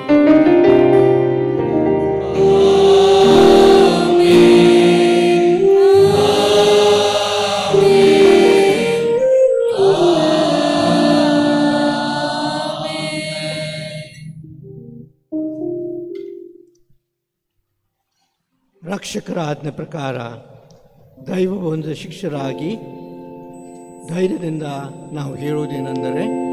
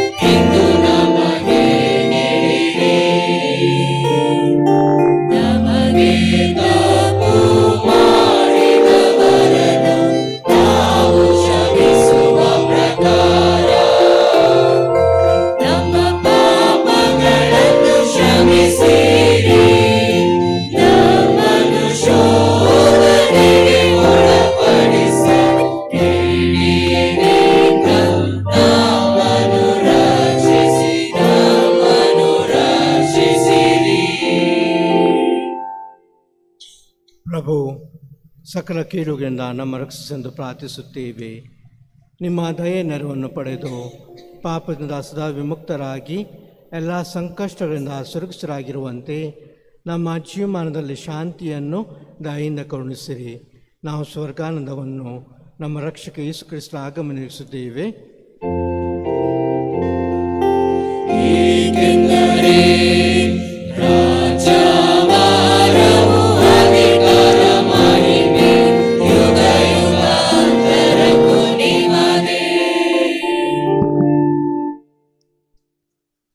ಯೇಸು ಕ್ರಿಸ್ತರೇ ನಿಮ್ಮ ಪ್ರೇಷಿತರಿಗೆ ನಿಮಗೆ ಶಾಂತಿಯನ್ನು ಬಿಟ್ಟು ಹೋಗುತ್ತೇನೆ.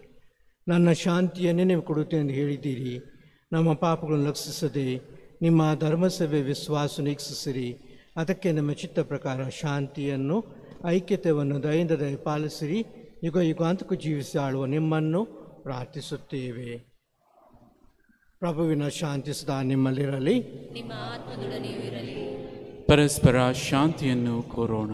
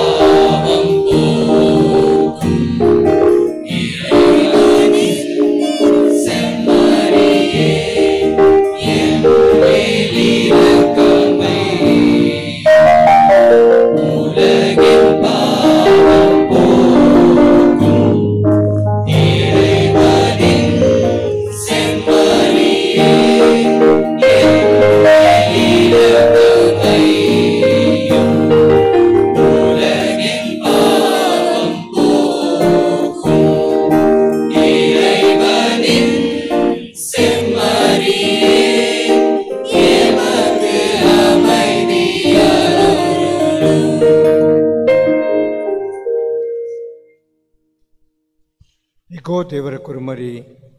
ಇಗೋ ಇವರೇ ಲೋಕದ ಪಾಪಗಳನ್ನು ಪರಿಹರಿಸುವರು. ಕುರುಮರಿಯ ಭೋಜನಕ್ಕೆ ಆಹ್ವಾನಿತರು, ಭಾಗ್ಯವಂತರು.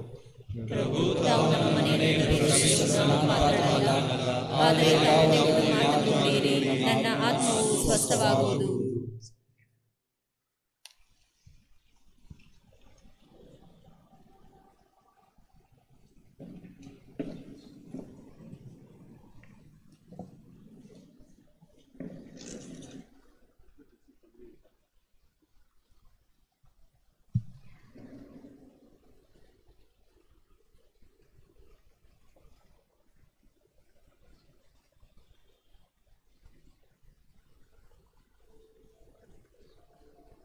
Thank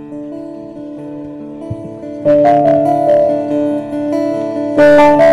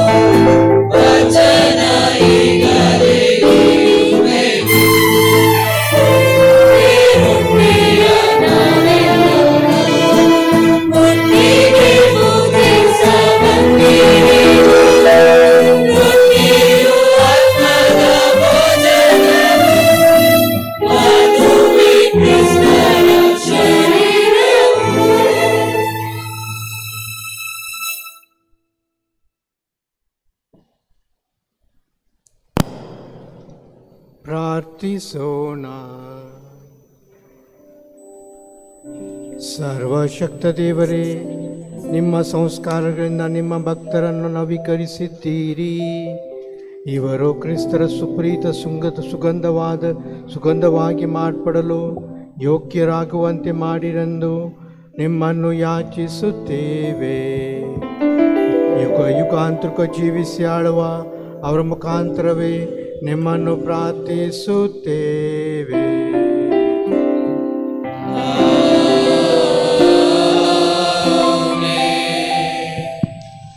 ಈಗ ನಮ್ಮ ಮಹಾಧರ್ಮಾಧ್ಯಕ್ಷರು ದೀಕ್ಷಾಸ್ಥಾನದ ತೈಲವನ್ನು ಪವಿತ್ರೀಕರಿಸುತ್ತಾರೆ ಈ ತೈಲವು ದೀಕ್ಷಾಸ್ಥಾನ ಸಂಸ್ಕಾರಕ್ಕೆ ಉಪಯೋಗಿಸುವ ಪವಿತ್ರ ತೈಲವಾಗುತ್ತದೆ இப்போது நமது பேராயர் அவர்கள் கிறிஸ்துவ புகுமுக நிலையில் உள்ளோருக்கான எண்ணெய் புனிதப்படுத்துகின்றார் இந்த எண்ணெய் திருமுழுக்கு பெறுவோருக்கு பூசப்படும் எண்ணெயாகும் Now, the Archbishop will bless the oil of catechumen.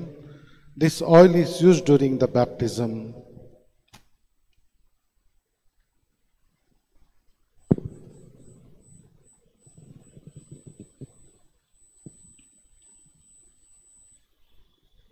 ಓ ದೇವರೇ ನಿಮ್ಮ ಭಕ್ತಾದಿಗಳಿಗೆ ಶಕ್ತಿಯನ್ನು ಆಶ್ರಯವನ್ನು ನೀಡುವ ಕರ್ತರೆ ತೈಲವು ಶಕ್ತಿಯ ಗುರುತು ಆಗಿರುವಂತೆ ನೀವು ಮಾಡಿದ್ದೀರಿ. ಈ ತೈಲವನ್ನು ಆಶೀರ್ವದಿಸಿರಿ. ದೀಕ್ಷಾಸನದಲ್ಲಿ ಇದರಿಂದ ಅಭ್ಯಂಗಿತರಾದವರಿಗೆ ದೃಢತೆಯನ್ನು ದಯಪಾಲಿಸಿರಿ. ಇವರ ಪರಿಣಾಮವಾಗಿ ದೈವಾತ್ಮವನ್ನು, ಶಕ್ತಿಯನ್ನು ಪಡೆದು ಕ್ರಿಸ್ತ ಯೇಸುವಿನ ಶುಭ ಸಂದೇಶವನ್ನು ಆಳವಾಗಿ ಅರಿತುಕೊಳ್ಳುವಂತಾಗಲಿ. ಕ್ರೈಸ್ತ ಜೀವನದ ಸವಾಲನ್ನು ಧೈರ್ಯದಿಂದ ಕೈಗೊಳ್ಳುವಂತಾಗಲಿ, ನಿಮಗೆ ಯೋಗ್ಯ ಮತ್ತು ದತ್ತ ಮಕ್ಕಳಾಗಿ ಮಾರ್ಪಡಲಿ. ನಿಮ್ಮ ಕುಟುಂಬವಾದ ಧರ್ಮಸಭೆಯಲ್ಲಿ ಹೊಸ ಸದಸ್ಯರನ್ನಾಗಿ ಹುಟ್ಟಿ ಬೆಳೆಯುವ ಭಾಗ್ಯ ಅವರಿಗೆ ದೊರಕಲಿ. ನಮ್ಮ ಪ್ರಭು ಕ್ರಿಸ್ತರ ಮುಖಾಂತರ ನಿಮ್ಮನ್ನು ಪ್ರಾರ್ಥಿಸುತ್ತೇವೆ. ಅಭಿಷೇಕದ ತೈಲ ಸಾಕ್ರಮ್ ಕ್ರಿಸ್ಮ ಈ ತೈಲವನ್ನು ದೀಕ್ಷಾಸ್ಥಾನ ದೃಢೀಕರಣ ಹಾಗೂ ಯಾಚಕಾಭಿಷೇಕ ಮತ್ತು ಧರ್ಮಾಧ್ಯಕ್ಷರ ಅಭಿಷೇಕಕ್ಕೆ ಈ ಪವಿತ್ರ ತೈಲವನ್ನು ಬಳಸುತ್ತಾರೆ ಈಗ ಕ್ರಿಸ್ಮ ತೈಲವನ್ನು ನಮ್ಮ ಮಹಾ ಧರ್ಮಾಧ್ಯಕ್ಷರು ಪವಿತ್ರೀಕರಿಸುತ್ತಾರೆ இப்போது நமது பேராயர் அவர்கள் கிறிஸ்மா எண்ணெய் அர்ச்சிக்கின்றார் இந்த எண்ணெய் திருமுழுக்கு உறுதி பூசுதல் குருத்வ ஆருட்பொழிவும் மற்றும் திருப்பீட அர்ச்சிப்பின் போது பயன்படுத்தப்படும் எண்ணெயாக ஆகும் Now, the Archbishop will bless the oil of Chrisma. This oil is used during the baptism, confirmation, priestly ordination, and blessing of the sacred altar.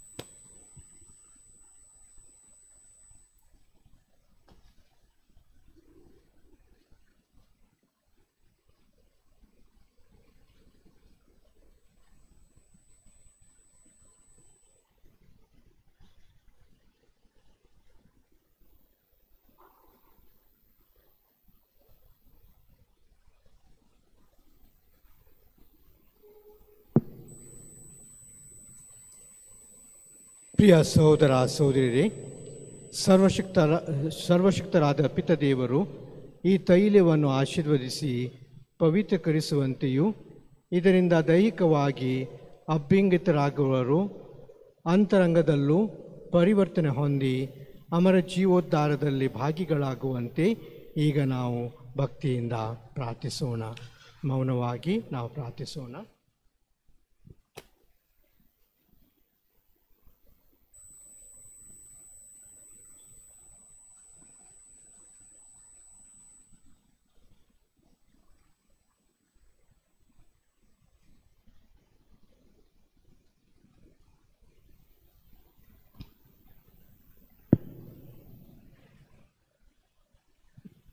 I now blow into the holy oil as a sign of the Holy Spirit.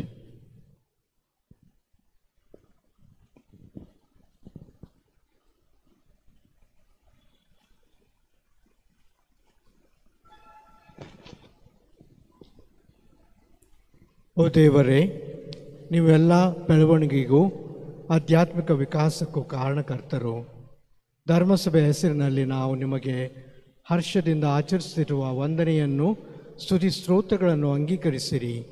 ಭೂಮಿಯು ಫಲದಾಯಕ ಮರಗಳನ್ನು ಬೆಳೆಸಬೇಕೆಂದು ನೀವು ಆದಿಯಲ್ಲೇ ಯತ್ನಾಪಿಸಿದಿರಿ. ಕ್ರಿಸ್ಮ ತೈಲಕ್ಕೆ ಬೇಕಾದ ಎಣ್ಣೆಯನ್ನು olive ಮರದಿಂದ ಒದಗಿಸಿದ್ದೀರಿ. ನಿಮ್ಮ ವರಪ್ರಸಾದದ ದಿವ್ಯ ಸಂಸ್ಕಾರಗಳಲ್ಲಿ ಬಳಸಲಾಗುವ ಪವಿತ್ರ ತೈಲದಿಂದ ನಿಮಗೆ ಪರಿಣಾಮಿಸುವ ಹಸನ್ಮುಖ ಆನಂದವನ್ನು ಕುರಿತು ದಾವಿದ ರಾಜನು ಪ್ರವಾದೆಯನ್ನಾಗಿ ಹಾಡಿದನ ಹಾಡಿದ್ದಾನೆ ಜಗತ್ತಿನ ಪಾಪಕ್ರಮಗಳಿಗೆ ಪ್ರಾಯಶ್ಚಿತ್ತವಾಗಿದ್ದ ಜಲಪ್ರಯಳದ ನಂತರ ಪಾರಿವಾಳವೊಂದು ಆಲಿವ್ ಮರದ ರೊಂಬೆಯನ್ನು ಕಚ್ಚಿಕೊಂಡು ನೋವಾನಿದ್ದ ನಾವೆಗೆ ತಿರುಗಿತು. ಹೀಗೆ ಜಗತ್ತಿಗೆ ಮರಳಿದ ಶಾಂತಿ ಸಮಾಧಾನವು ಒಲಿವ್ ಮರದ ರೆಂಬೆಯ ಮೂಲಕ ಸೂಚಿಸಲಾಯಿತು.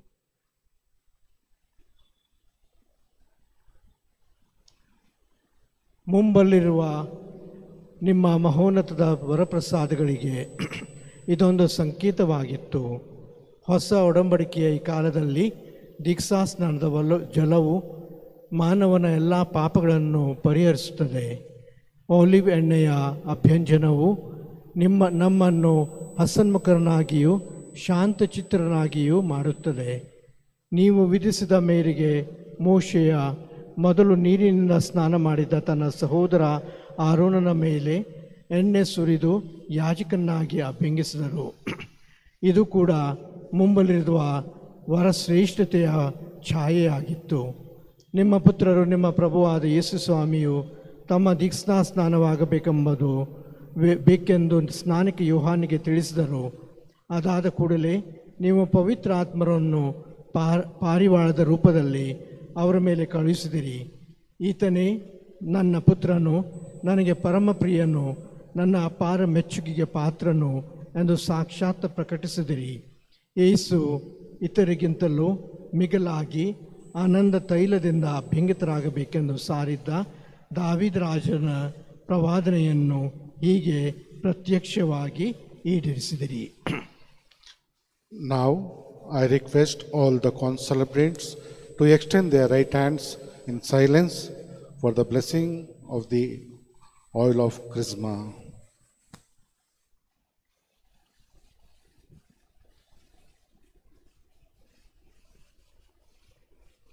ಆದ್ದರಿಂದ ತಂದೆ, ಈ ತೈಲವನ್ನು ಆಶೀರ್ವದಿಸಿ ಪವಿತ್ರಕರಿಸಬೇಕೆಂದು ನಿಮ್ಮನ್ನು ಕೇಳಿಕೊಳ್ಳುತ್ತೇವೆ ಈ ತೈಲಕ್ಕೆ ಕ್ರಿಸ್ಮಾ ಎಂಬ ಹೆಸರು, ಕ್ರಿಸ್ತ ಎಂಬ ಹೆಸರಿನಿಂದಲೇ ಬಂದಿದೆ ಆ ಕ್ರಿಸ್ತ ಯೇಸುವಿನ ಪ್ರಬಲ ಸಹಾಯದಿಂದಲೇ ಈ ತೈಲದೊಂದಿಗೆ ಪವಿತ್ರ ಆತ್ಮರ ಶಕ್ತಿಯನ್ನು ಬೆರೆಸಿರಿ.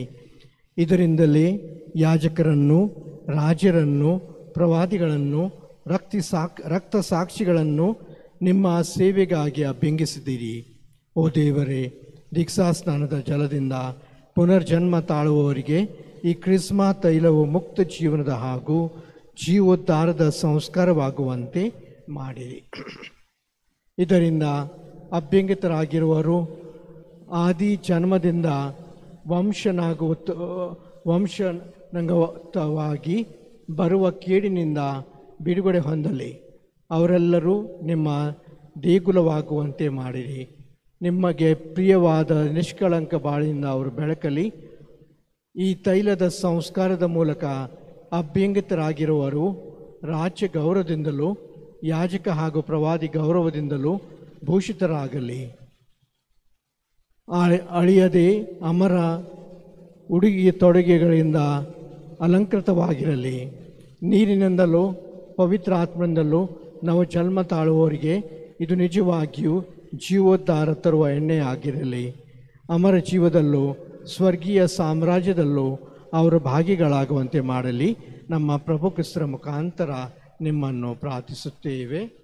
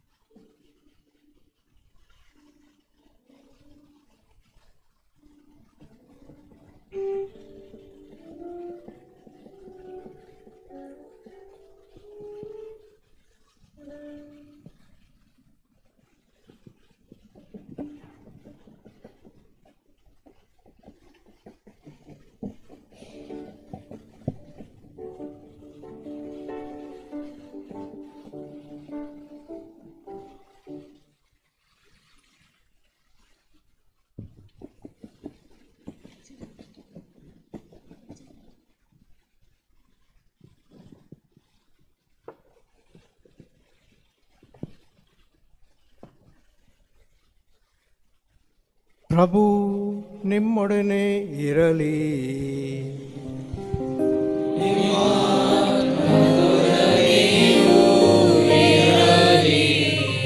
ಸರ್ವಶಕ್ತ ದೇವರಾದ ಪಿತ ಸುತ ಮತ್ತು ಪವಿತ್ರ ಆತ್ಮರು ನಿಮ್ಮನ್ನು ಆಶೀರ್ವದಿಸಲಿ.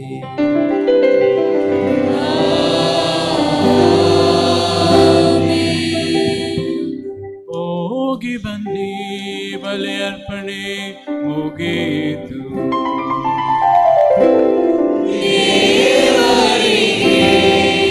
ಕೃತಜ್ಞತೆ ಸಲ್ಲಲಿ. Kindly be seated. My dear brothers and sisters, today is a joyful day, a glorious day, a memorable day, a great day for all the priests. Today is a day of priests, a day for priests, priesthood day. So it's my honor and privilege to convey on your behalf all the lay faithful, religious sisters, to our chief priest, Archbishop Peter Machado, Monsignor Jainathan, and all my brother priests, happy priesthood day, Ad Multos Anus. Congratulations, dear Reverend Fathers.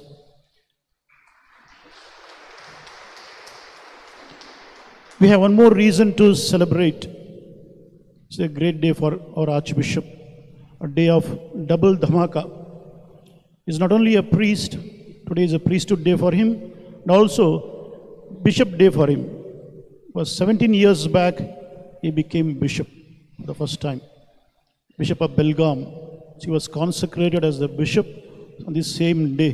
So he has multiple reasons to rejoice, double celebrations, and we have to convey to him double greetings. The grace on behalf of Monsignor Jayanathan, all my brother priests, and all the brothers and sisters who are here, I convey to you our sincere congratulations and warmest felicitations. May God bless you, give you strength, wisdom, and courage so that you'll continue to be a good shepherd in our archdiocese. Ad Multos Amos.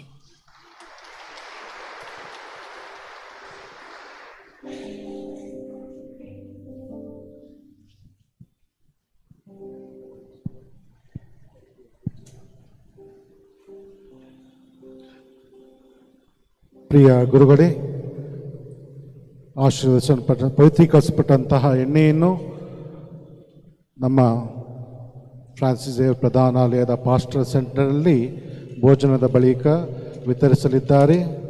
ಇಂದು ಯಾರು ಸ್ವೀಕರಿಸಲು ಸಾಧ್ಯವಾಗದಿದ್ದಲ್ಲಿ ಮುಂಬರುವ ದಿನಗಳಲ್ಲಿ ಪಾಲನಾ ಭವನದಲ್ಲಿ ಹೋಗಿ ಈ ಪವಿತ್ರ ತೈಲವನ್ನು ಸ್ವೀಕರಿಸಬಹುದು.